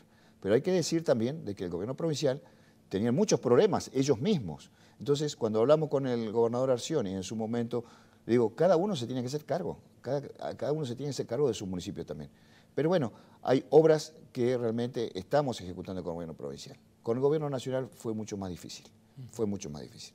Pero bueno, no importa. Eso es lo que a mí me motiva a que si hay un cambio de gobierno podemos tener, digamos, un lineamiento de gobierno provincial, nacional y provincial que no tendría que existir, porque somos un, país federal. Pero cuando hablamos de país federal, yo considero que acá no existe un país federal. Acá es, lo único federal que tenemos es la Policía Federal, nada más, no existe el país federal. Entonces, este, hay muchas obras que tenemos que, ejecutar. Nadie más que yo o nuestro equipo sabemos lo que hay que hacer en Gaiman. Tenemos muchas obras pendientes, tanto de servicios, de infraestructura de servicios, como son la planta potabilizadora. Nuestra planta potabilizadora, cuando nosotros entramos, producía un 70%. ¿Pero sabe por qué producía un 70%? Porque estaba trabajando manualmente y no se le habían hecho nunca los mantenimientos que se tenían que hacer. Una computadora que le hacía eh, como, digamos, eh, una planta que trabajaba sola, eh, no funcionaba porque se había quemado la computadora. Supuestamente era carísimo el arreglo. ¿Cómo lo arreglé yo? Supuestamente. Supuestamente. Cuando yo me preocupé por el tema, voy a la cooperativa eléctrica de Treo, que tenía mis conocidos, hablé con los ingenieros de la, la planta de agua, le digo, ¿cómo se arregla esto? Y esto se arregla, no hay problema. ¿Y cuánto sale? Y vamos con un asado entre todos. Y así se arregló la planta. ¿Con un asado? Un asado para 10 personas.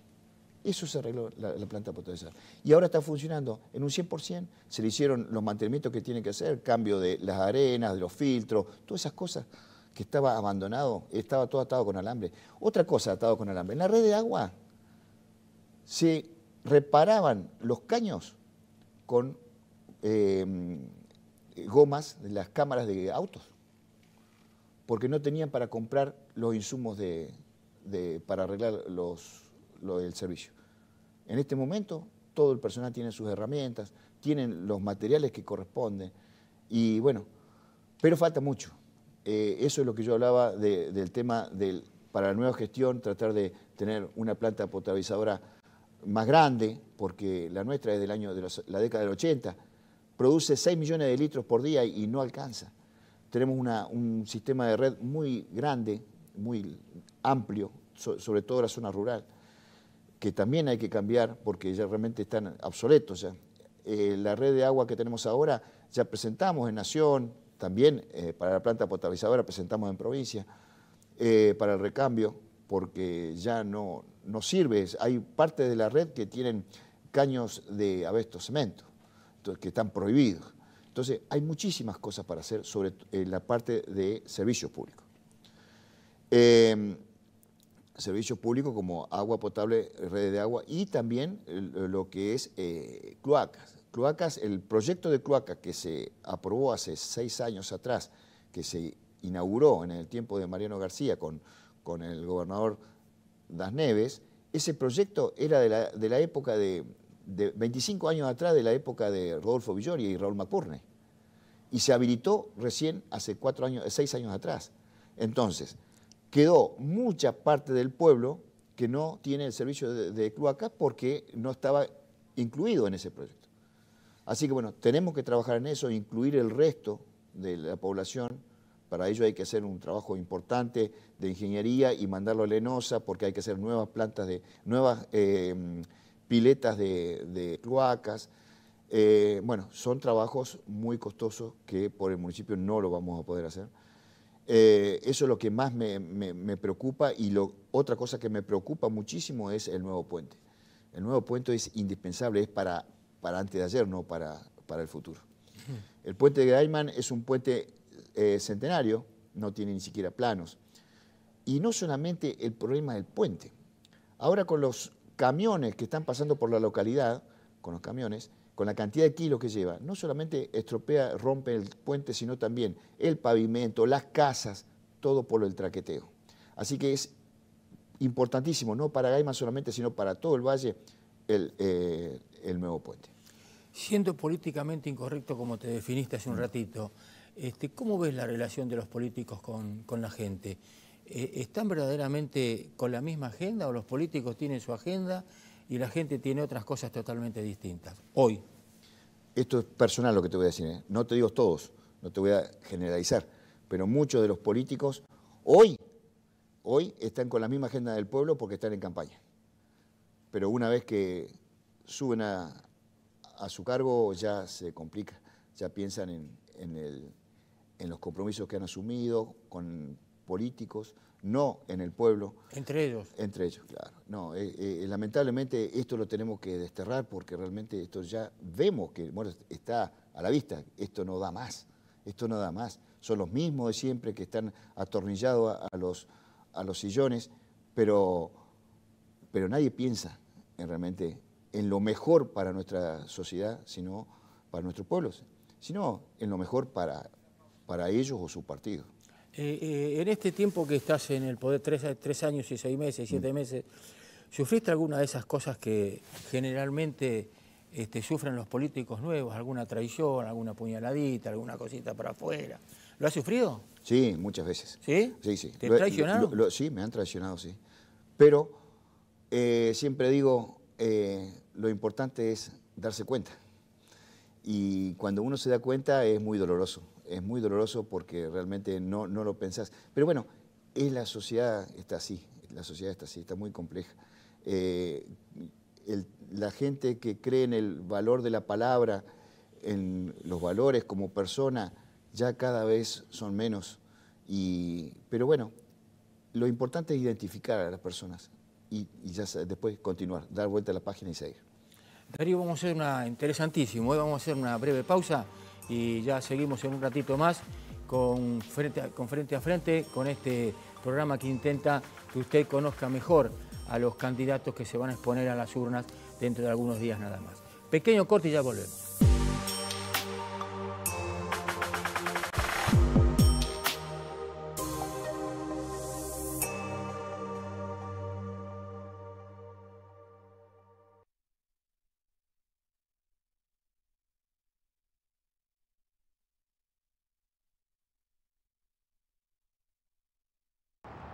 Miles de palabras se reproducen en una imprenta.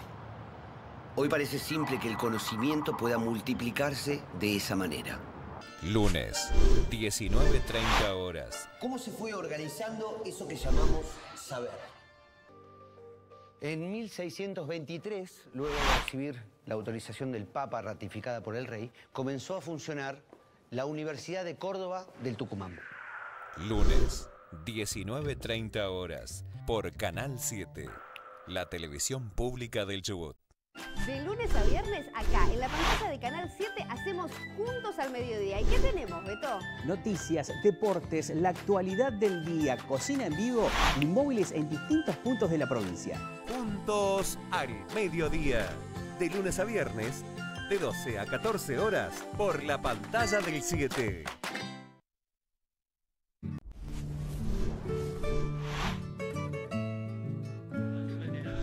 Sábado, 14 horas. tradición, amigo Juan Carlos Bren, que el que apunta a lo nuestro, a la patria le hace bien.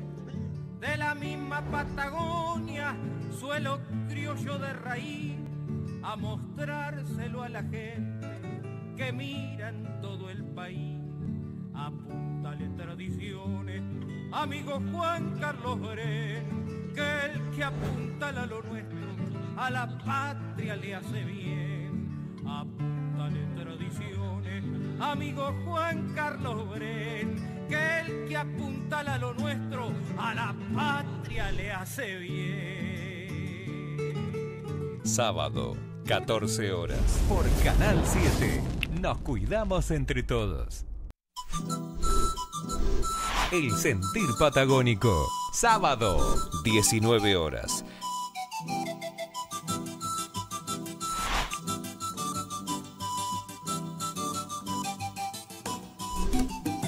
El sentir patagónico. Sábado, 19 horas. Por Canal 7, la televisión pública del Chubut.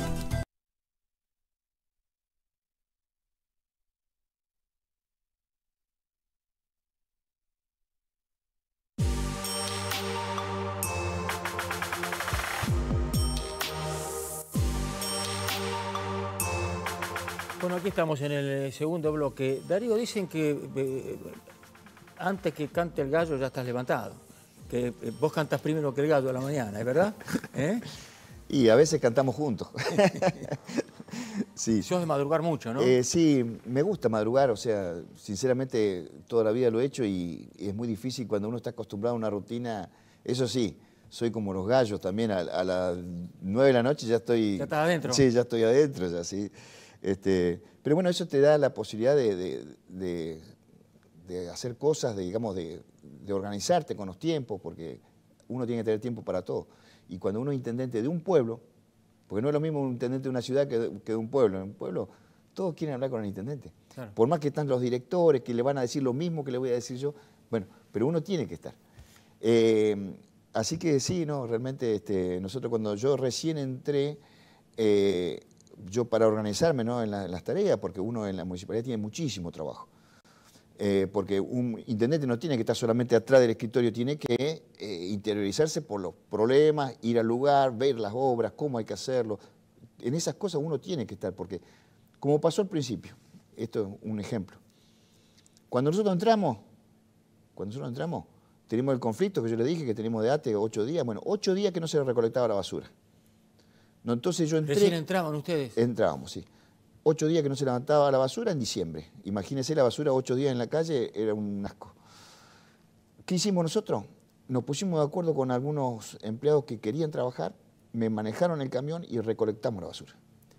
Ahí te das cuenta que uno tiene que saber el trabajo que hace justamente un compañero de trabajo.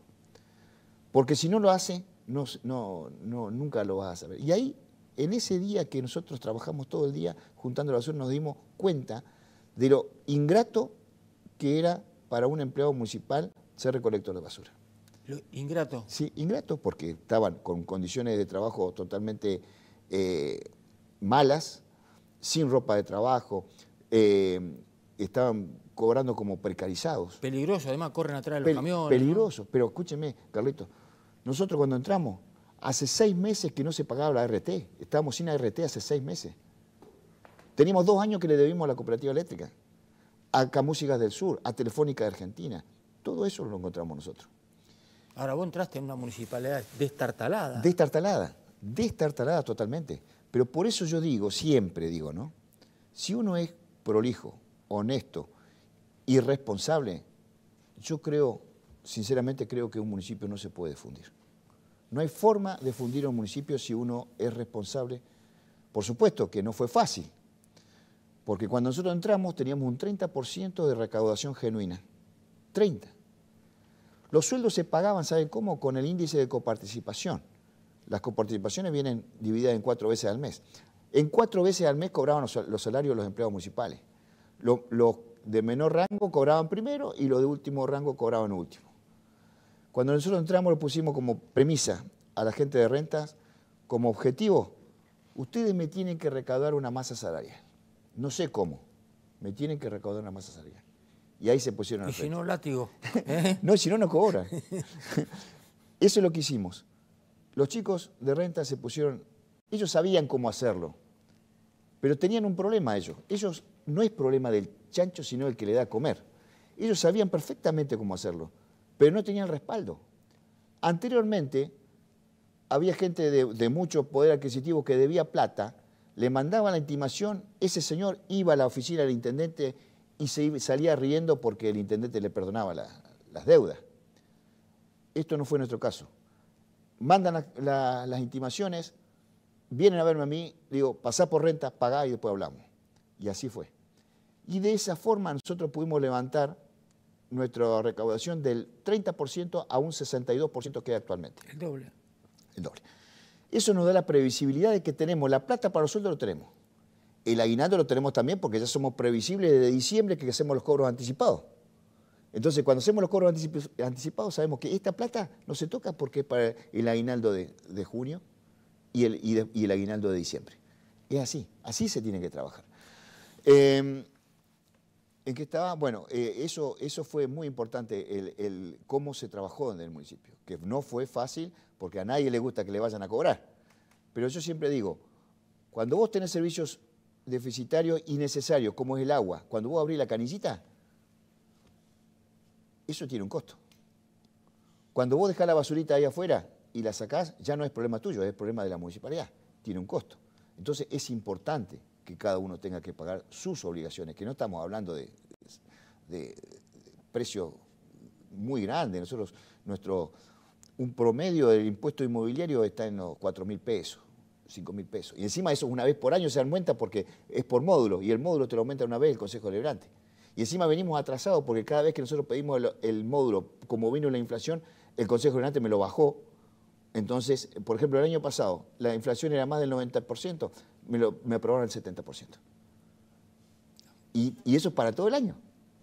Entonces, venimos atrasados. Pero bueno, eh, volviendo al principio, haciendo las cosas como corresponde y lo básico, principal, cuando te vienen a pedir algo, primero decir que no, porque es muy fácil decir que sí. Para un político es más fácil decir que sí que decir que no.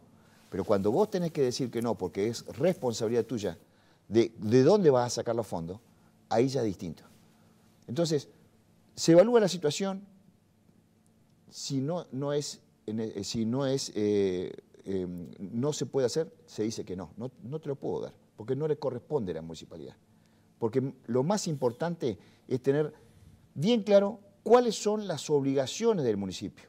Las obligaciones del municipio principales son por las cuales el contribuyente aporta. En este caso sería barrido, cementerio, basural, el agua, cloaca, em, espacio. Todo eso, por lo que aporta la sociedad, es lo más importante. Después lo otro hay que evaluarlo, se trabaja en conjunto con la, provincia, con Acción Social de Provincia, em, esas cosas así se manejan.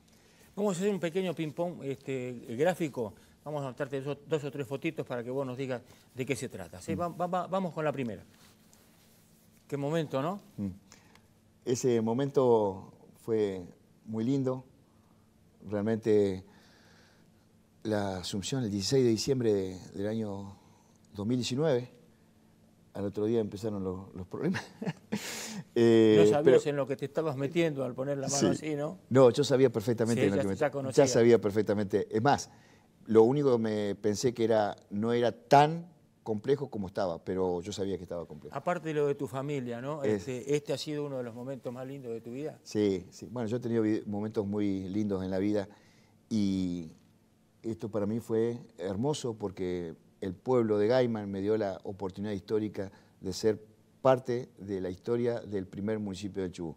Y una persona que viene del ámbito del trabajo, solamente del trabajo. No, no, yo no tengo título secundario. Te emocionaste, ¿eh? Sí, porque es la realidad. La, vida es, es, compleja. Nosotros, personalmente, yo he tenido, he pasado por situaciones muy, muy difíciles, muy difíciles. De, em, de chico, eh, eh, sobre todo por enfermedades muy graves que he tenido. Yo a los 16 años tuve cáncer de ganglios. Después, a los 24 años, cuando era bombero y fui al incendio de Madrid, que estuvimos ahí. Ah, de los, bomberitos. Sí, los bomberitos. Sí, yo estuve ahí trabajando el día el día viernes, eh, fue el 21 de enero, el viernes 20, yo estaba regando papa en la chacra con mi papá y me llaman por HT que tenía que ir a Madrid porque había un bombero desaparecido. Fuimos, yo estaba de guardia, fuimos allá, tuvimos los tres días y también nos encerró el fuego en una oportunidad. El día sábado a la mañana encontramos a los bomberitos, el sábado a la tarde en un incendio intencional también al norte de la ruta Telsen, eh, nos encerró, estábamos los bomberos de Rawson, Treleu y Gaiman. Y ahí fue que eh, nos encerró el fuego también, pero un señor, el vasco, no me acuerdo, que era, que era chofer de Rawson acá, que ya está jubilado, un excelente bombero, nos sacó con la camioneta, atravesó el fuego con la camioneta, con la Ford 8, con, con- y nos salvó. Bueno, después de eso yo tuve un problema que me tuve una recidiva de la enfermedad porque me bajaron la defensa. Bueno, eso me pasó también. Después no podía tener hijos y, Dios me bendijo con mellizas. Con mellizas, ¿no? Sí. Claro. Entonces, eh, son tantas las cosas. Por eso es que es tan importante no se creerse importante, no creerse poderoso. Porque acá hay uno solo poderoso que es el de arriba, nosotros somos todos igual. Entonces, claro que me emociona. Eh, yo soy hijo, hijo neto de, de inmigrante galés, de, la- de los primeros colonos. Eh, la primera cruza la tengo con mi señora que es Gómez, pero realmente eh, muy orgulloso. Bueno, vamos a la otra foto antes que se nos largue con un lagrimón. Ahí está. Sí. Es el mismo momento, ¿no? Es el mismo momento, sí, el mismo momento. Realmente eh, mucha gente... Ya con la comunidad al lado también. mucha mu- gente mucha querida, gente, ¿no? Claro. mucha gente querida, realmente toda la gente esperando, eh, eh, o sea... Además asumía un vecino, un vecino común, ¿no? No- No, era que sí. asumía un político de que venía muchos años, ¿no? No, no, no. Y sobre todas las cosas, eh, cuánta esperanza tenía la gente en nosotros. Y, y tiene, considero que tiene la gente, porque nosotros no lo hemos defraudado, al contrario, hemos hecho lo mejor que pudimos eh, con lo que encontramos. Y, y- y vamos por más porque realmente estamos convencidos de que este es el camino. Este es el camino de hacer las cosas bien para que Gaiman crezca. Sí, ¿Y, y- y- qué te dijo tu familia? ¿Dónde te metiste? ¿No te dijeron algo así o no? Bueno, fue así. Mis hijas no querían saber nada. Mis hijas se fueron en ese momento a estudiar a General Pico La Pampa veterinaria y están en cuarto año. Y, y estábamos solos con mi señora y me dice mi señora, ¿y por qué no? Porque teníamos un problemita de la cooperativa. ¿Y por qué no aceptás lo que te dijeron la gente del radicalismo? Y no, le digo, "Mira, fíjate que mis amigos no quieren saber nada. De apuñados vienen a decirme que me deje hinchar con esto. Bueno, mis padres tampoco, porque es lógico, mis viejos no querían saber nada que me meta porque tenían miedo de que me enferme de vuelta. Porque esto es... Sí, claro, un estresar. estrés te puede provocar. Mis hijas tampoco. Eh, pero vos, ¿qué es lo que querés? Me dice mi señora a mí. Y a mí me gustaría. Y dale, dice. Es tu vida, yo te acompaño. Mi señora me acompañó. Y acá Y es la culpable, ¿eh? entre comillas. Vamos con la última foto, creo que tenemos una más, ¿sí? Ah. Mirá, eh, con un hacedor, ¿no? Creo que eh, lo que está haciendo Nacho Torres ahora en este espacio, tan siendo tan joven, es importante, ¿no? Es muy importante. Realmente considero que es una persona muy inteligente, joven, sobre todo entusiasta, y la juventud te da eso, ¿no es cierto? La, la fortaleza, el envión, el, el coraje, y también tiene a su lado una persona que es excelente como vicegobernador, que es Gustavo Mena, es una persona increíble. Y estás con Bis también. Y ahí estamos con Damián Bis, que bueno, que estamos desde el primer momento, desde el primer momento de los primeros, de los, movi- los primeros Pero- movimientos del 2019. Pero no se equivocó él cuando llevó a Mazzoni en, en, en Trelew. Sinceramente es complejo el tema. Yo sinceramente considero de que por ahí nos equivocamos, pero yo, como él, estábamos convencidos que para la situación que estaba Treleu, pensamos de que Mazzoni era la persona indicada por, por la convicción, por la fuerza, por, por eso. Pero bueno, sinceramente no, el pueblo dijo que no, que los afiliados dijeron que no, y el pueblo eligió a, a- a Gerardo Merino, que realmente estamos felices y lo vamos a acompañar y lo vamos en todo porque realmente es un, es un radical neto, y, pero tiene que tener el acompañamiento de todos nosotros porque realmente eh, la situación de Trelew es muy... Bueno, muy con Maderna tuviste algunos chispazos vos, ¿no? no, con Maderna sinceramente no pudimos hacer nada. Eh, Nada, nada juntos, nada. ¿No? Absolutamente ¿Por nada. qué? No, no, no, no. Eh, desde el tiempo de la pandemia que tuvimos problemas. Estaban los DNU que teníamos que, todos teníamos que respetar, porque era de provincia, estamos en la pandemia, acordémonos que ahora es muy fácil decirlo después del día lunes, ¿no? Pero en ese tiempo era algo todo nuevo para todos. Y había DNU, y estaba la gente del Ministerio de Salud, que teníamos... Nosotros teníamos que prohibir todo y entre ellos se habilitaba todo. Entonces nosotros nos, nos, nos cascoteaban el rancho Claro. porque decían, ¿ustedes cómo? Bueno, bueno, por ese lado. Después, eh, nosotros trabajamos también, que es muy importante lo que te voy a decir. Eh, una de las instituciones más importantes del Valle es la Compañía de Riego. Desde el municipio de Era Gaiman. tu obsesión esa, Sí. ¿no? Y ¿sabe por qué, Carlos? Mi obsesión porque la compañía de riego la viví de toda la vida. Mi papá trabajó 45 años en lo que era agua energía y después compañía de riego. Mi abuelo era tomero que recorría los canales a caballo eh, hace 60 años atrás. Y, teníamos una empresa que depende de todo el valle, que estaba fundida y, no solamente fundida, sino que, eh, que sin cúpula jerárquica. No teníamos ni interventor, no teníamos presidente, no teníamos consejo directivo, entonces el gerente solamente no podía hacer nada y llegó a la fundición, porque el gerente no podía tomar ni una decisión. Bueno, entonces nosotros como intendente no podíamos mirar para un costado una responsabilidad tan grande como es la compañía de riego para los productores, porque hoy día sin, sin agua el valle no, no, funciona. Y logramos eso, logramos eso, eh, fue un, esfuerzo muy grande, yo convoqué a todos los intendentes, a, a Damián, a, a Adriana, a Bowen, y trabajamos mucho en eso. Eh, estuvo Maderna en algunas, eh, algunas oportunidades. Y, este, y gracias a Dios se regularizó, es más, la compañía de riego este año se hizo la segunda asamblea de productores, que es importante. 25 años que no había asamblea de productores. Está normalizada, por supuesto que tiene problemas, porque si vos tenés una 25 años una empresa fundida, es muy difícil sacarla adelante. Pero ahora está eh, jerarquizada, tiene el presidente que es Julio Crestev, que es muy entusiasta y yo creo que la va a sacar adelante eh, por el bien de todos los productores.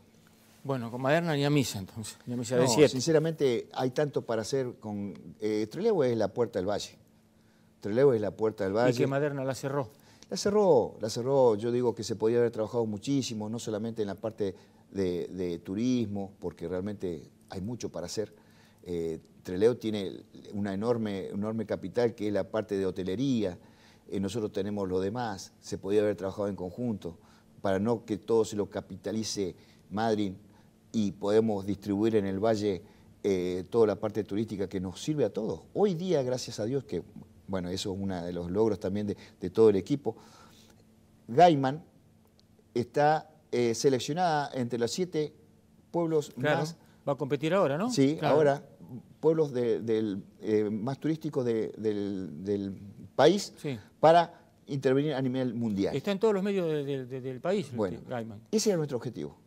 Porque cuando entramos, nosotros cuando entramos, Gaiman antes tenía tres fábricas. Estaba del Estero, que era una fábrica que hacía medias, que este, mm, Coqueta eh, tenía 150 empleados. Soriano Sociedad Anónima tuvo hasta 350 empleados. La fábrica Cipol, que era una fábrica que hacía bolsa de nylon, tenía 50 empleados. Ahora no hay nada. El único recurso de Gaiman es el recurso agropecuario, que es pedentorio porque es la, temporada, y después la casa de, las casas de teco. turismo. Bueno, para eso trabajamos. Para eso trabajamos muchísimo, el embellecimiento del pueblo, y queda muchísimo todavía. Bueno, hoy estamos eh, considerados uno de los mejores pueblos turísticos del país, y ahí, ahí es ese es el norte. ¿Por qué? Porque ahí vamos a atentar a, los a, las inversiones privadas para que ahora la gente que compró Soriano Sociedad Anónima eh, tiene interés de trabajar en ese sentido, en trabajar en el turismo, eh, mejorar la, costanera del otro lado, del lado sur del, río eh, y hacer algún emprendimiento turístico para justamente para lo que estamos viendo. Bueno, hacemos una pausa. Sí, Nos vamos ya a la última pausa aquí en Frente a Frente y enseguida volvemos para terminar esta jugosa charla con el intendente de Gaiman Darioso.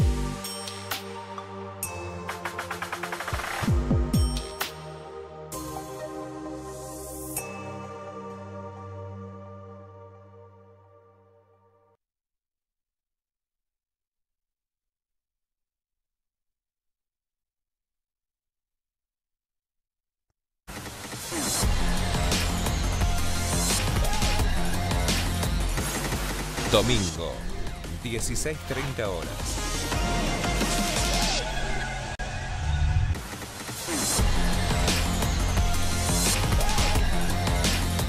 Domingo, 16.30 horas, por Canal 7, la televisión pública del Chubut.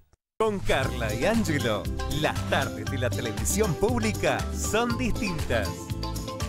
Dos horas para disfrutar e informarte de lo que pasa en la provincia. Nuestros móviles, recorriendo los lugares donde está la información.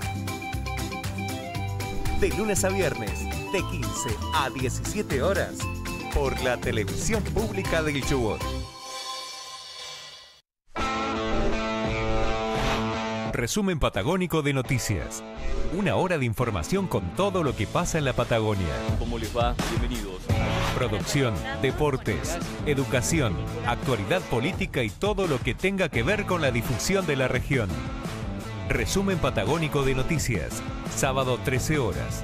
Por la televisión pública del Chubut.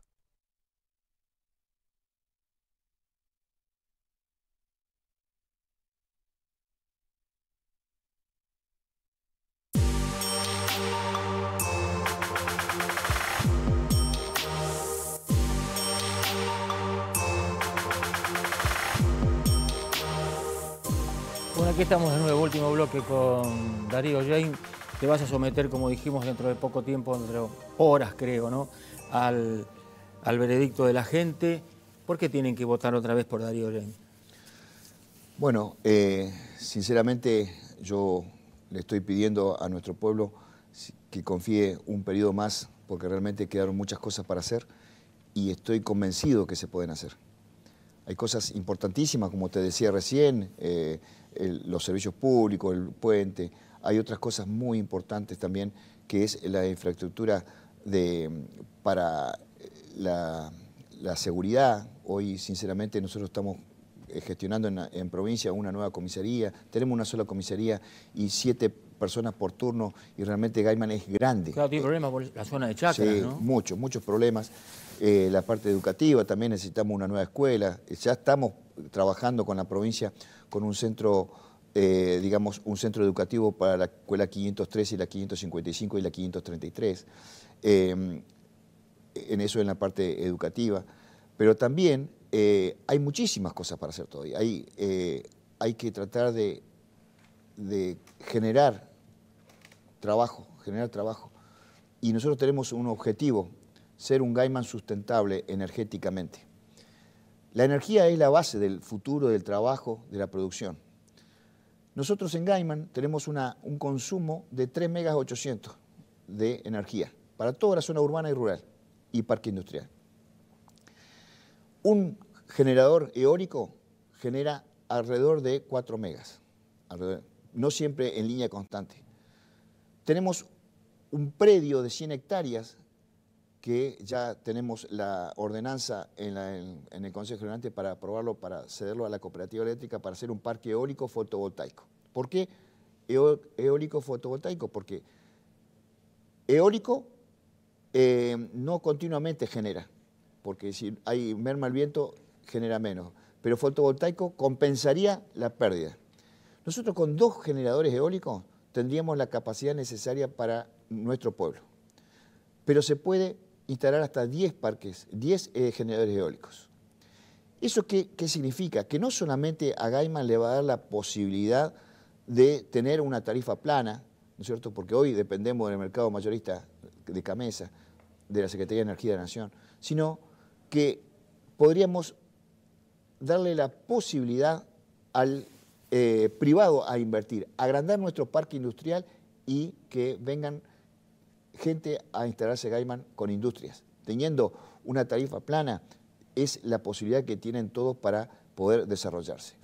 Nosotros en nuestra gestión, eh, Doris Toma, nuestra secretaria de gobierno, realmente una persona muy, eh, una, de una, la mano derecha, digamos, es mi otra pata. Ella estuvo trabajando muchísimo todo lo que es el parque industrial. Otra de las cosas que ordenamos nosotros fue el parque industrial. El parque industrial no tenía, no estaba inscrito en ningún lado. Entonces nunca llegaba ni un eh, recurso para el parque industrial de Gaima porque no estaba inscrito en Nación, no había nada, era, era solamente un loteo.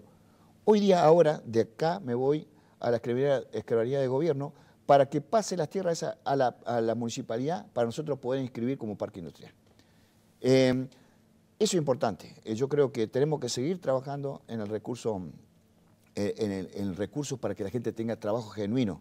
Yo creo que este gobierno, no solamente el, el municipal, el provincial y el nacional, tiene que estar centralizado en eso. Basta de empleado del Estado. Tenemos que generar nuestro propio eh, empleo genuino para que la gente tenga, sea digna. Eso es importantísimo.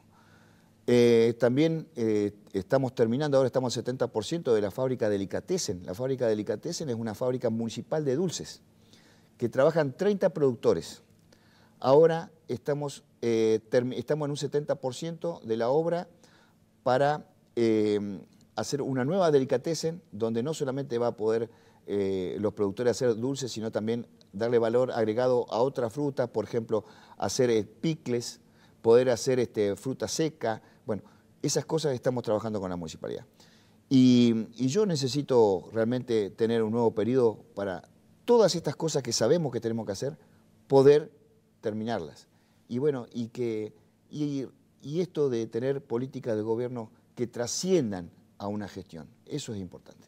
Gracias, Darío. No, gracias a vos, Muy bien. Gracias. Terminamos una nueva entrega de Frente a Frente. Nos volvemos a encontrar en algunos días. Muchas gracias.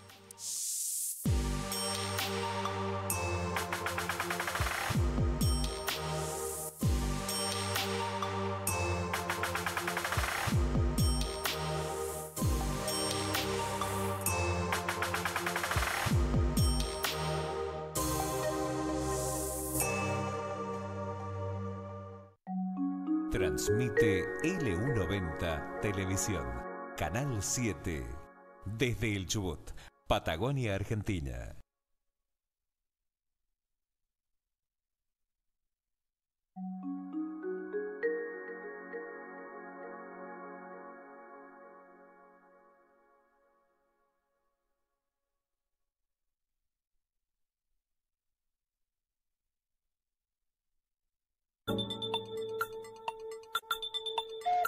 En la montaña, meseta y mar, llegó la hora de ir a descansar, después de juegos y estudiar, a la camita a soñar. Soñar. Ah, hasta mañana, chicos.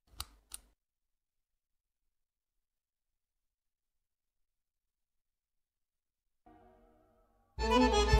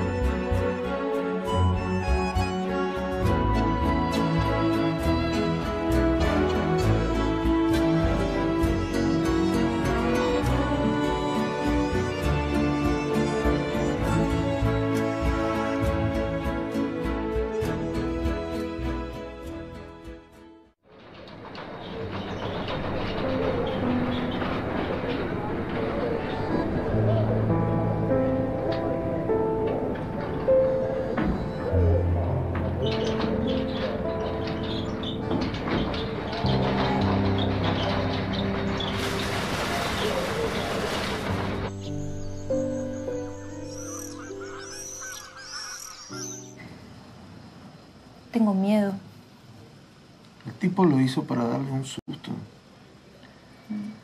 Pero el padre de la chica tiene amigos. Ese es el problema. El poder y la plata. ¿Y entonces? Y esta gente es capaz de cualquier cosa con tal de salirse con la suya. Pero hay que seguir luchando, Betty. Algún día se va a terminar. ¿Crees que lo sueltan mañana? Ojalá. ¿Sabes algo? Ya salieron Natalio y el viejo. No te preocupes, Bernabé. Todo va a salir bien. Hay cocido en el jarro. Y galletas de anís, esas que te gustan. Gracias.